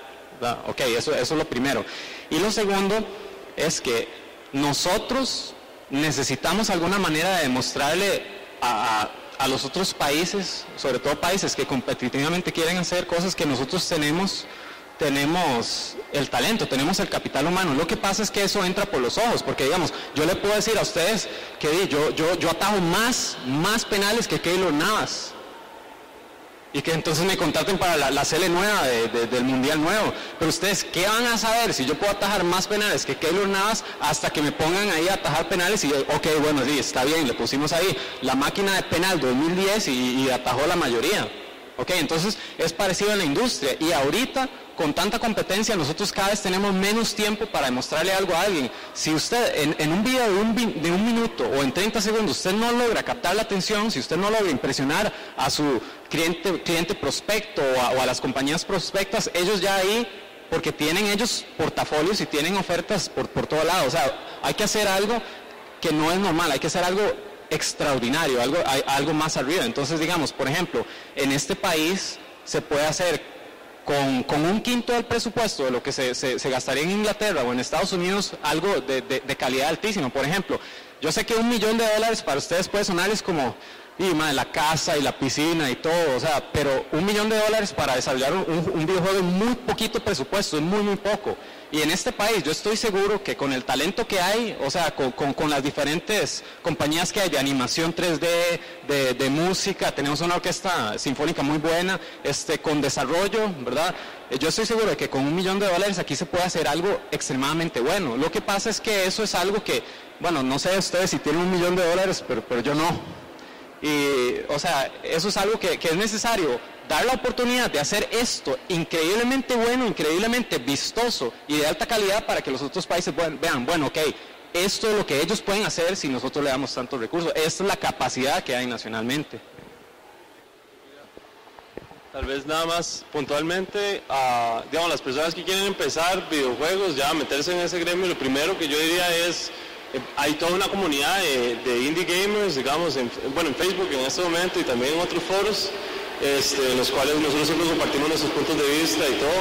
Y hay una serie de eventos, eh, game jams, eh, a, través, del año, donde siempre hay gente que se está metiendo y buscando gente para que nos pueda ayudar en estos equipos. Entonces, si se quieren empezar a meter, es una excelente idea, empezarse a meter en este grupo y, meterse en los game jams para aprender de los compañeros que ya tienen alguna experiencia. Entonces, lo primero es empaparse de eso y después, tal vez para la segunda pregunta, que qué es lo que ocupamos nosotros para desarrollarnos más allá en la industria, digamos, o seguir como catapultándonos, yo creo que definitivamente hay una bueno, facilidades económicas, yo creo que eso es una de las cosas más importantes que, que en la industria le hacen falta. Eh, necesitamos un capital semilla, definitivamente, algo que, que, ayude a a, nosotros desarrolladores a, poder contratar un equipo y, eso, y eso también se traduce un poco, que yo creo que, también es un poco lamentable que existen muchas trabas en el gobierno, digamos, para compañías nuevas en términos de impuestos y todo esto, que yo creo que no ayudan a, a incentivar el emprendedurismo en este país que yo espero que algún día se cambie alguna ley que tal vez ayude a las, a las compañías que se hacen, que tengan cinco años ahí, que, el, gobierno les ayude un poco a salir adelante para que después ya puedan caminar bien, ¿verdad? Eh, yo creo que incentivos como esos son los que pueden ayudar a que, crezca una industria que en este momento apenas está naciendo.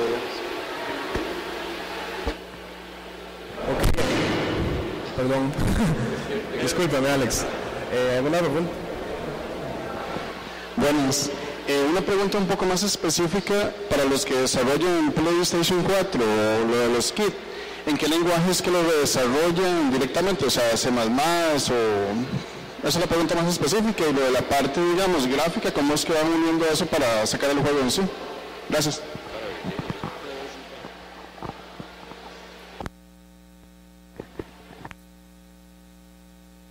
¿Así? Ok.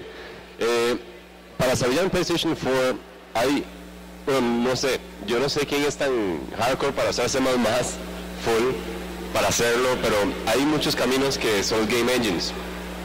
Puede ser Unity, puede ser Unreal, puede ser Game Maker. Son cosas que a uno le permiten eh, facilitar la, exportación del juego a estas plataformas. Eh, está, ahora, a partir de esto, de los game engines, están la parte de las licencias. Hay demasiadas precios, por, ejemplo, la licencia de Unity es relativamente elevada para tener un, título en PlayStation 4. En Unreal se paga por mes, algo así, eh, un royalty, y Game Maker prácticamente es súper accesible, eso sí es accesible. Así que no es un lenguaje más que todo, eh, por lo que yo conozco, es más que todo un game engine, que es lo que se puede usar para, para explorar PlayStation 4.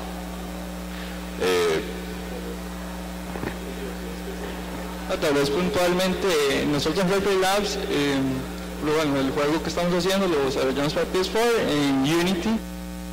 Engine se programa en, en C un lenguaje bastante común para nosotros, eh, bastante sencillo, no es como, ok, tengo que hacer el juego en ensamblador, o como decía Eduardo, en C++, no es, no es complicado, Eh, y sí, como dice Eduardo, en el caso de nosotros, por ser parte de la incubadora de Sony, eh, ellos nos dan la licencia de Unity para desarrollar para PlayStation 4. Ese fue el camino que nosotros tenemos en este momento. Tal vez también para agregar, para PS4, eh, no cualquier persona puede desarrollar para, para esa plataforma, no solo por el precio de, la, de Unity, sino también por, em, porque eh, bueno, la gente de Sony tiene que darte un dev kit que es básicamente un, PlayStation 4 que se ve horrible, que se parece una caja de metal con unos puertos ahí que, en este momento en Latinoamérica solo hay cinco y Fairplay tiene uno de ellos. Y bueno, yo, creo que vos también.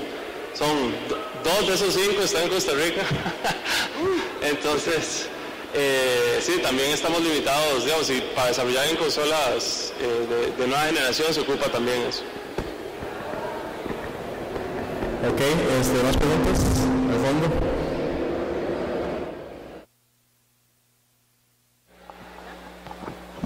¿qué tal? José Alberto Duarte, mucho gusto. impresionante el trabajo. Eh, yo los he estado siguiendo ahí en la lista y gracias a Herbert también por todas las publicaciones y todo el, despliegue de prensa.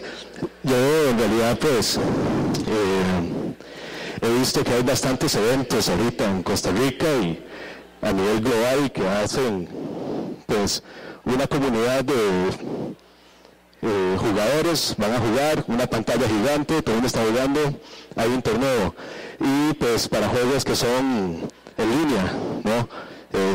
StarCraft, eh, Diablo, todos estos.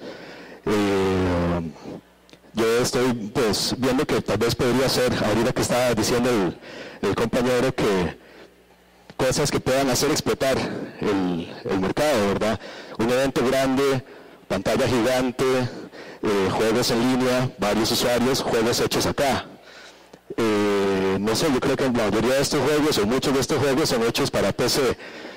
Eh, yo veo que pues ahí, no sé qué tan complicado será hacer un juego en línea con multiplayer para mobile, me imagino que debe ser muy difícil, pero juegos para PC, juegos en línea, masivos, ¿hay planes para eso?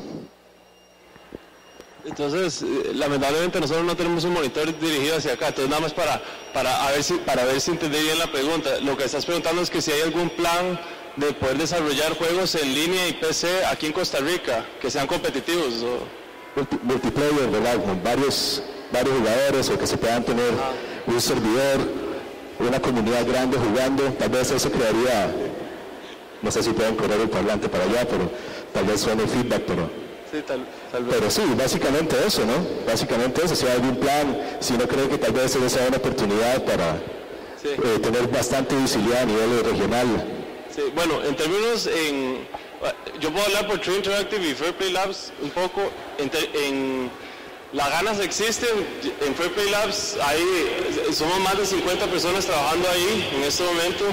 Y más o menos como 25 personas juegan o StarCraft o League of Legends, por ejemplo. Entonces, eh, hay un interés enorme entre, los compañeros de equipo en trabajar en este tipo de proyectos.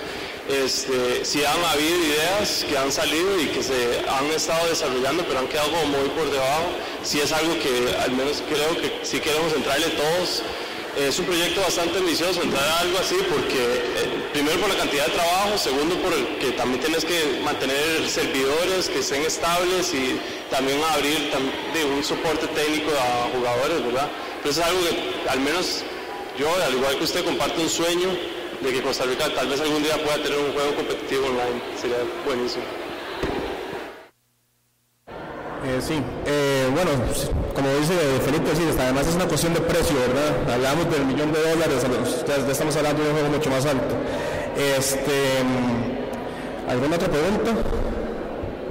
¿Pueden pasar el micrófono a la compañera?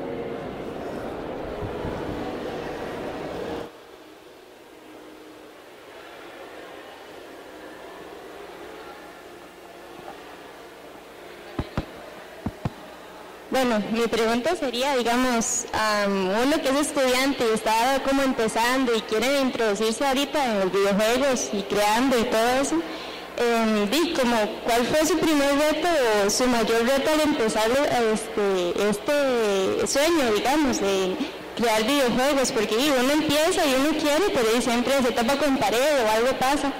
Y, como ustedes voz de la experiencia, me gustaría saber qué fue su mayor reto al empezar a dar ese primer paso a la creación. Bueno, Bueno, muy, bien su incentivo.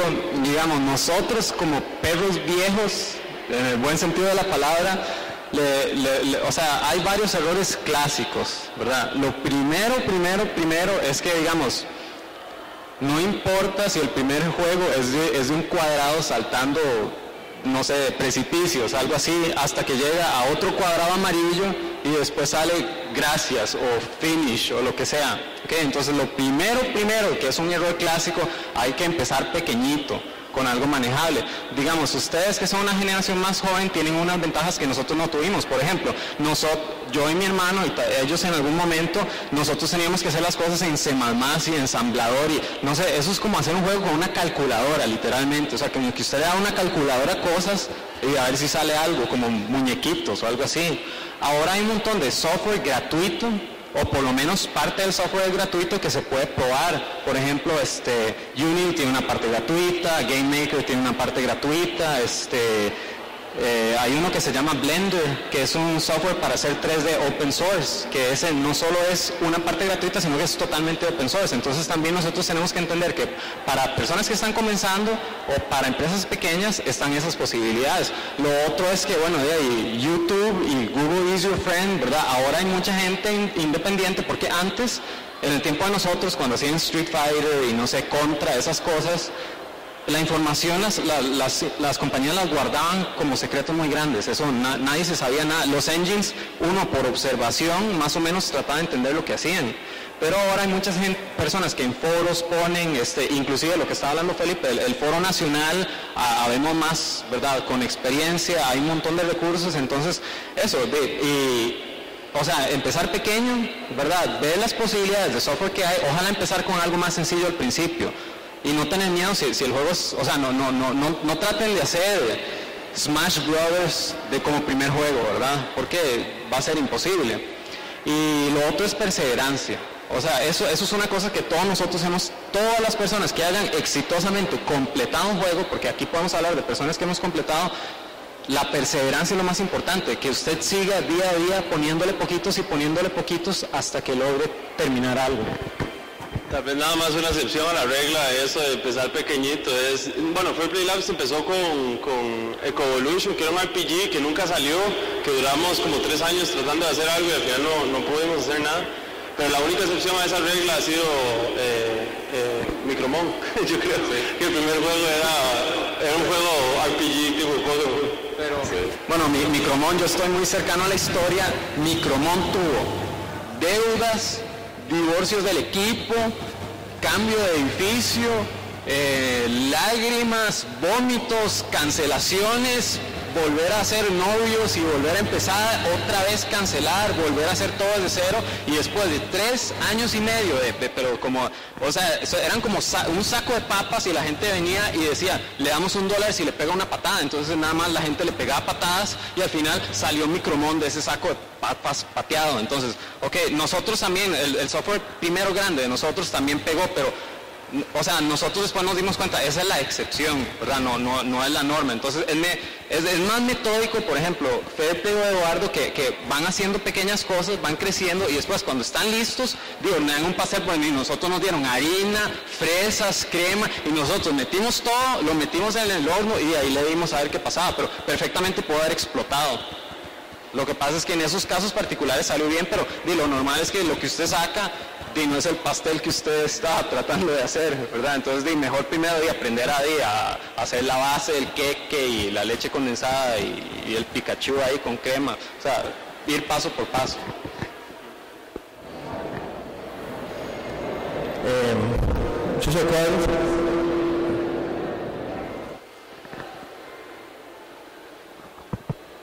bueno, eh, en cuanto digamos a lo que es desarrollo de un videojuego, con Unity, por ejemplo, ¿qué tan factible es con el Unity que le dan a uno gratis desarrollar uno un videojuego que sea bastante bonito, adictivo, y más si estás solo, dedicarte también a desarrollar el arte y todo lo que es, o sea, como personaje como individual, porque últimamente a veces bueno, yo he tocado con la mala suerte, he, hecho muchos intentos fallidos de juegos y siempre termino, por ejemplo, como un equipo que les decimos, más, organizémonos para un juego, chatemos, entrenemos y todo el mundo se quita y entonces nunca sale nada que valga la pena. Entonces, casi que queda a veces terminar haciéndolo uno solo todo porque nadie se quiere de verdad poner la leva para trabajar. Entonces, ¿qué tan factible es entrarle así al web? Pero es como perder el tiempo casi.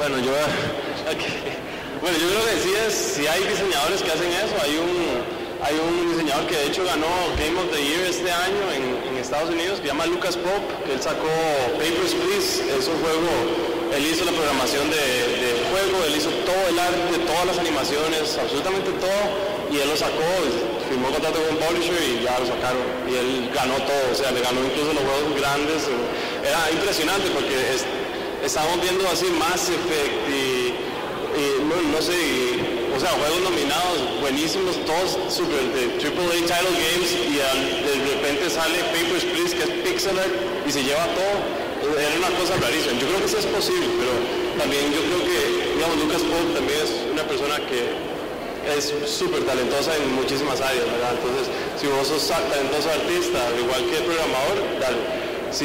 Pero yo sí creo que confiar en, personas que puedan hacer un mejor trabajo que vos es una buena idea y, bueno, y también suerte de conseguir el equipo adecuado. Nada más, un punto en específico, desde un punto de vista técnico, eh, como lo rescató Joan, la, la, tecnología ahorita te permite hacer muchísimas cosas, ahora te facilita muchísimas cosas y por este motivo es que ahora es muchísimo más fácil para equipos pequeños desarrollar cosas impresionantes, inclusive para solo una persona. Entonces, desde ese punto de vista, eh, sí, la tecnología te lo permite, digamos. Si usted, como de nuevo, si es talentoso en arte y, en programación, lo puede hacer. Pero sí comparto la opinión de Felipe que siempre es bueno tener otros ojos sobre, sobre el producto, ¿verdad? Y una persona que te diga las cosas de frente, te dé feedback constructivo. el, desarrollador independiente por excelencia, ¿verdad? Sobre todo cuando es en un país pequeño como este, pero en general, en cualquier lugar del mundo, es, un soy la ¿verdad? soy la secretaria. Soy la animador, tiene que, tiene que hacer muchos papeles. Por ejemplo, Felipe y yo, nosotros dos somos como lo que uno llamaría como un jack of all trades, como que somos como digamos, Felipe a veces tiene que ser músico, o a veces yo tengo que ser animador, artista, o sea, nosotros hemos tenido que ser personas que hacen muchas cosas. E igual, digamos, este, Eduardo no está lejos, porque digamos, Eduardo son tres personas, un músico, un artista y un programador. En el caso de yo y mi hermano éramos solo dos personas para todo, la música, el marketing, todo esto. Y Felipe con True Interactive son, son, son solo tres personas. Vigilo es un poco la excepción porque él trabaja ya con, con equipos un poco más grandes y más formados. Pero sí se puede, ¿verdad? Claro, o sea, e, eso es como que, no sea, no sé, como usted puede tener el cuerpo de Schwarzenegger, sí, sí se puede. Nada más que tiene que comer puré de papa y alzar pesas todos los días, por 15 años hasta que su bíceps se haga más grande que su cerebro, ¿verdad? Pero sí se puede, ¿ok? Poco a poco. Lo que pasa es que generalmente, ¿verdad? En el 90% de los casos, hacer un juego de video es una empresa empresa digo como emprendido, o sea, como viaje, ¿verdad? Es una empresa que se hace en equipos, que se hace uno delegando y confiando tareas a otras personas más especializadas. Y por ejemplo, o sea, no importa si es un proyecto, este, o sea, no, importa la escala, pero si es un proyecto muy grande, con animaciones muy pulidas, con, como esto que estaba hablando del, compañero del juego este online y todo, eso hasta ahora no hay forma de hacerla como un individuo. ¿Por qué? Porque, por ejemplo, Felipe tiene mucho conocimiento desde arte 3D hasta música, hasta integración, todo.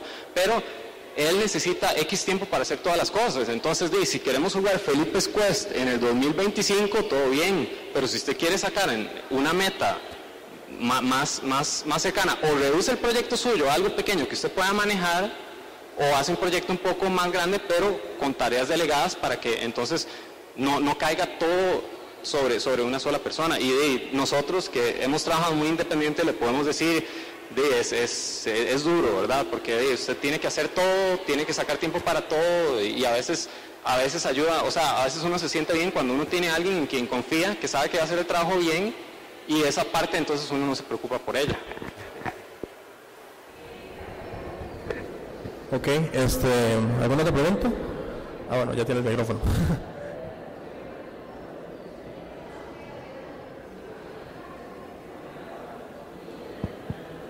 Sí, Eh, bueno, primero agradecerles por la motivación, porque les voy a, bueno, este, brevemente, la experiencia personal. Eh, yo con un grupo de amigos de tres eh, hicimos un jueguito, eh, duramos como tres meses, pero bueno, dedicándole como un par de días a la semana.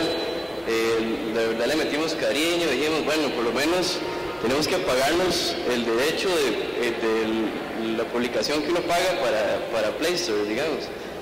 Por lo menos eso, pero nosotros estábamos muy motivados y todo, y hicimos el, el- subimos el jueguito, está en el Play Store, pero la gente que lo ha descargado es como la familia y los amigos y mi abuela. O sea, la cantidad de descargas es como de 50 y la cantidad de usuarios activos le pongo unos 18. Entonces, mi pregunta es, eh, ¿cómo hace uno para, para darse a conocer o como para motivarse a, abrirse al mercado, como algo así, no sé? Esa es una, una pregunta compleja, porque hay cosas. Y, y hay que ser muy cruel con las cosas que uno hace. Es decir, el juego es bueno, uno va a decir sí. ¿Qué van a decir los demás? Sí, bien, no, tal vez, pero ¿cuál fue la razón por qué no se esparció? Eh, marketing sobre un videojuego. Nosotros tenemos experiencia de trabajar con Publisher. Es decir, ellos se encargan de hacer toda la publicidad todo el, el- el marketing. Eh, ¿Cómo hacerlo? ¿Cómo, la eh, es más, más que todo una pregunta, ¿cuál es su siguiente proyecto después de lo que aprendió? ¿Tiene algo pensado? Eh, nosotros, bueno, eh, uno de los compañeros está trabajando en ya, HP, entonces es olvidarse de él. El otro todavía está en la U y solo estoy yo, entonces eh, estoy con un proyecto personal, pero con mi compañero. Eh, estamos pensando tirarnos a competencias y hacer tal vez un jueguillo y, tirarlo ahí también a ver qué pasa, pero eh, el Under, digamos, o el Game Jam. Pero eh, sí, sí al inicio, al inicio nosotros nos desmotivamos. Yo personalmente me desmotivé, me desmotivé demasiado porque le pusimos mucho cariño y todo y hasta ese momento tenemos como 1.2 dólares de ganancia por, por este, publicidad. Y entonces este, sí nos desmotivamos, pero bueno, con la charla de ustedes la verdad me motivó bastante de caerse N veces y levantarse N más un veces. Entonces, bueno, muchas gracias por eso, y, pero sí me gustaría saber cómo, cómo darse a conocer o. Yo creo que todos los desarrolladores ticos, es que Macromón, ha experimentado hacer un juego primero y que no, no le va bien. Eso no es, es que esto es motivo, para des- de- desesperarse. Eh, Es, es lo que dije ahora, hay que caer siete veces y levantarse ocho. Eh, Felipe quiere decir algo. Algo. ok, sí, pésimo chiste, sorry. Ok, no, no, lo único que yo quería decir es, eh, tal vez parte del, de- del ejercicio que puedes hacer es, o sea, poner a otras personas a analizar el juego, o sea, que jueguen el juego y que vos identifiques exactamente cuáles fueron los problemas. Porque yo creo que hay problemas, hay suerte, en, est- en esto yo creo que hay bastante parte de suerte y bastante que también es producto de algunos problemas que ya tenga el juego o, decisiones que ya has hecho. Entonces, lo, lo primero que haría es poner a gente que vos conoces o, gente que juega juegos a que juegue el juego que tenga el criterio así, blunt como lo sienten, qué es lo que sienten, si lo sienten muy fácil, muy difícil, si es imposible, si no, no les gusta por algo que no es el tipo de juego de ellos, entonces identificar por qué no es el tipo de juego. Entonces, tal vez agarrar de eso, agarrarle lo mejor que se pueda. Entonces, tratar de ver, ok, ¿por qué fue un fracaso, digamos? O entre comillas un fracaso, para mí no es un fracaso. Para mí, primero lograste el primer juego, ya cre- creaste credibilidad y tenés un producto que ya puedes evaluar para mejorar, para hacer el próximo.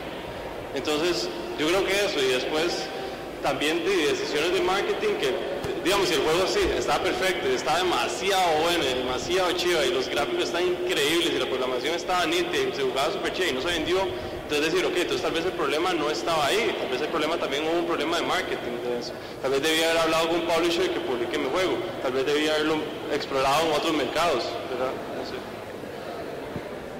Yo, ok, tengo la experiencia de tomar decisiones duras, que es matar mis propios bebés. Ok, hay que aprender también a aceptar. Yo soy así, yo, he hecho un montón de cosas, las desecho y sigo adelante es una decisión que usted tiene que tomar.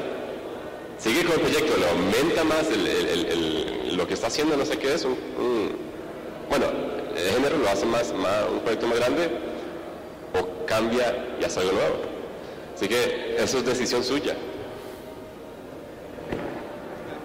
Nada más muy puntualmente, ya para responder concretamente la pregunta, bueno, para darse a conocer, como decía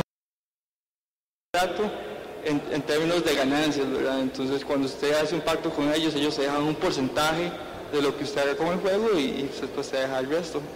Es un, es, es un trade-off ahí de que si usted lo ocupa o tal vez no lo ocupa, entonces hay que como pensarlo, ¿verdad? Es, tal vez no lo ocupo y me la juego y me voy 100% yo, o, no, en realidad no, ocupo que le inyecten, le inyecten dinero a, a la mercadotecnia del asunto y, y voy a sacrificar un poco de mis ganancias. De hecho que Felipe ha tenido experiencias personales con publishers y, y, bueno, él podría compartir un poco más. Personalmente nosotros con Chilingo le fue bastante bien eh, cuando publicamos Voz y, y, nos ayudó muchísimo. Se notó mucho la diferencia cuando nosotros publicamos por nosotros mismos un juego, ¿verdad? En términos de descargas, que cuando lo hicimos con Chilingo, ¿verdad? Que es toda una maquinaria detrás del juego eh, apoyándolo, ¿verdad? Y es todo un renombre.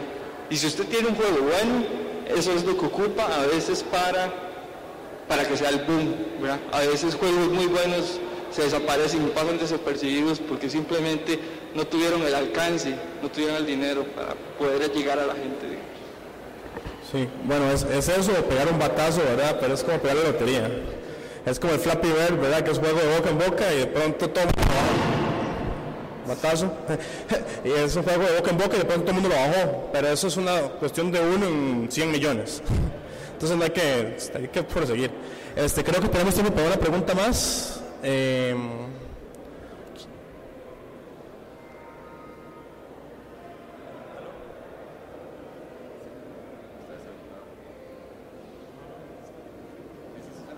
¿Aló? Sí, nada más para agregar ahí lo de Flappy Bird.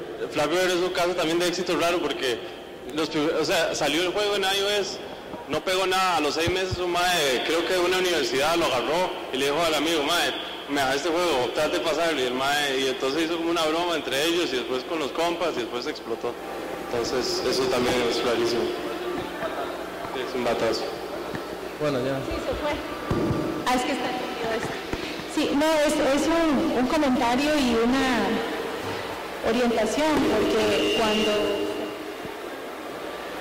estas actividades, eh, muchas veces desde el Ministerio definimos donde se definen los recursos y los apoyos y demás, nos hemos dado cuenta que hay un, tal vez un poco acercamiento con las necesidades reales y con el sector que realmente está llevándose pues, los golpes.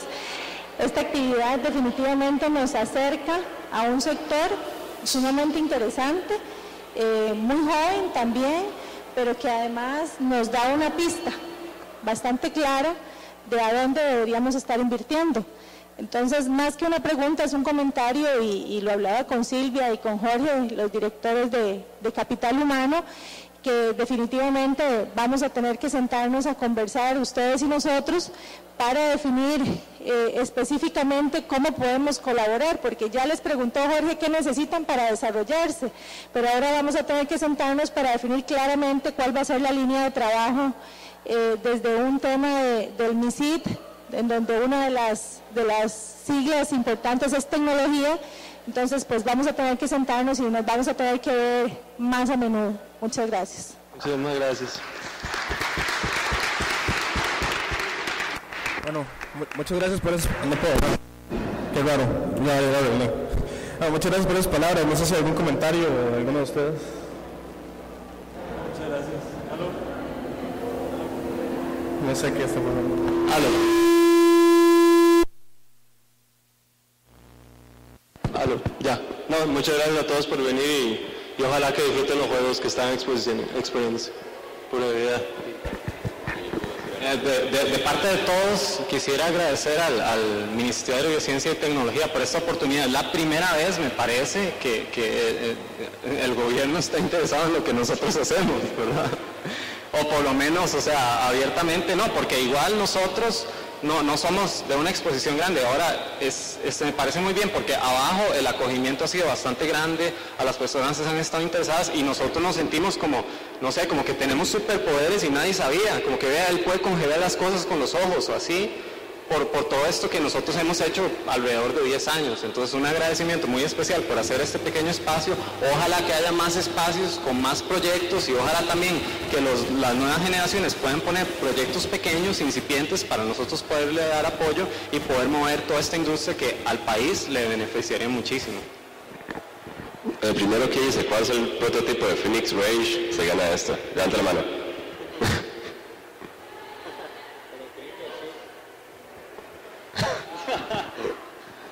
Dino, muchas gracias por el apoyo, serio, estamos muy, estamos muy felices. Nada más unirme al agradecimiento de este equipo, al agradecimiento al MISIT y de verdad espero que pasen y prueben Paint Runners y todos los juegos que estamos exponiendo ahí abajo a ver si les gusta. Buena día. Gracias. Bueno, para, para cerrar nada más, eh, yo también quiero un agradecimiento al Mesías, un agradecimiento por haberme invitado y por crear este tipo de actividades. Agradecimiento a todos los que vinieron. Ojalá sigan viniendo esas actividades cuando las vean, porque solo así, todo bueno, Yuanchi, todos juntos, eh, la industria crece. Como Costa Rica tiene que darse cuenta que tiene que ser una unidad. Ah, como somos una unidad con fútbol, cuando ganamos algo tenemos que ser una unidad eh, con este tipo de actividades y este tipo de empresas. Eh, Micromon en primer lugar, eh, Finish Rage, eh, Aya Red Night, eh, Pen el documental de Yuanchi creo que va a ayudar mucho para esto. Este, y solo para que dan idea de esa industria, aquí tenemos cuatro, cua- cuatro empresas, pero en realidad, según la ICDA de Costa Rica, la ICDA es la Asociación Internacional de Desarrolladores, eh, hay, hay una, hay una sector acá, hay 19 empresas eh, de desarrollo de en Costa Rica. Entonces, eh, ahora en adelante, cada vez que piense, alguno tiene el sueño de crear un videojuego, sepan que se puede, ¿no? O no tengo que decírselo yo, acá está la prueba. Y hay 19 empresas que lo están haciendo. ¿Y quién dice, quién quita que alguno de ustedes sea la 20, la 21 y dentro de unos 2, 3 años, 25 años, no sé si hay algún niño acá, estemos, estemos bien ustedes exponiendo, algunos de ustedes exponiendo acá. Y eso es lo que se busca con este tipo de actividades. Muchas gracias.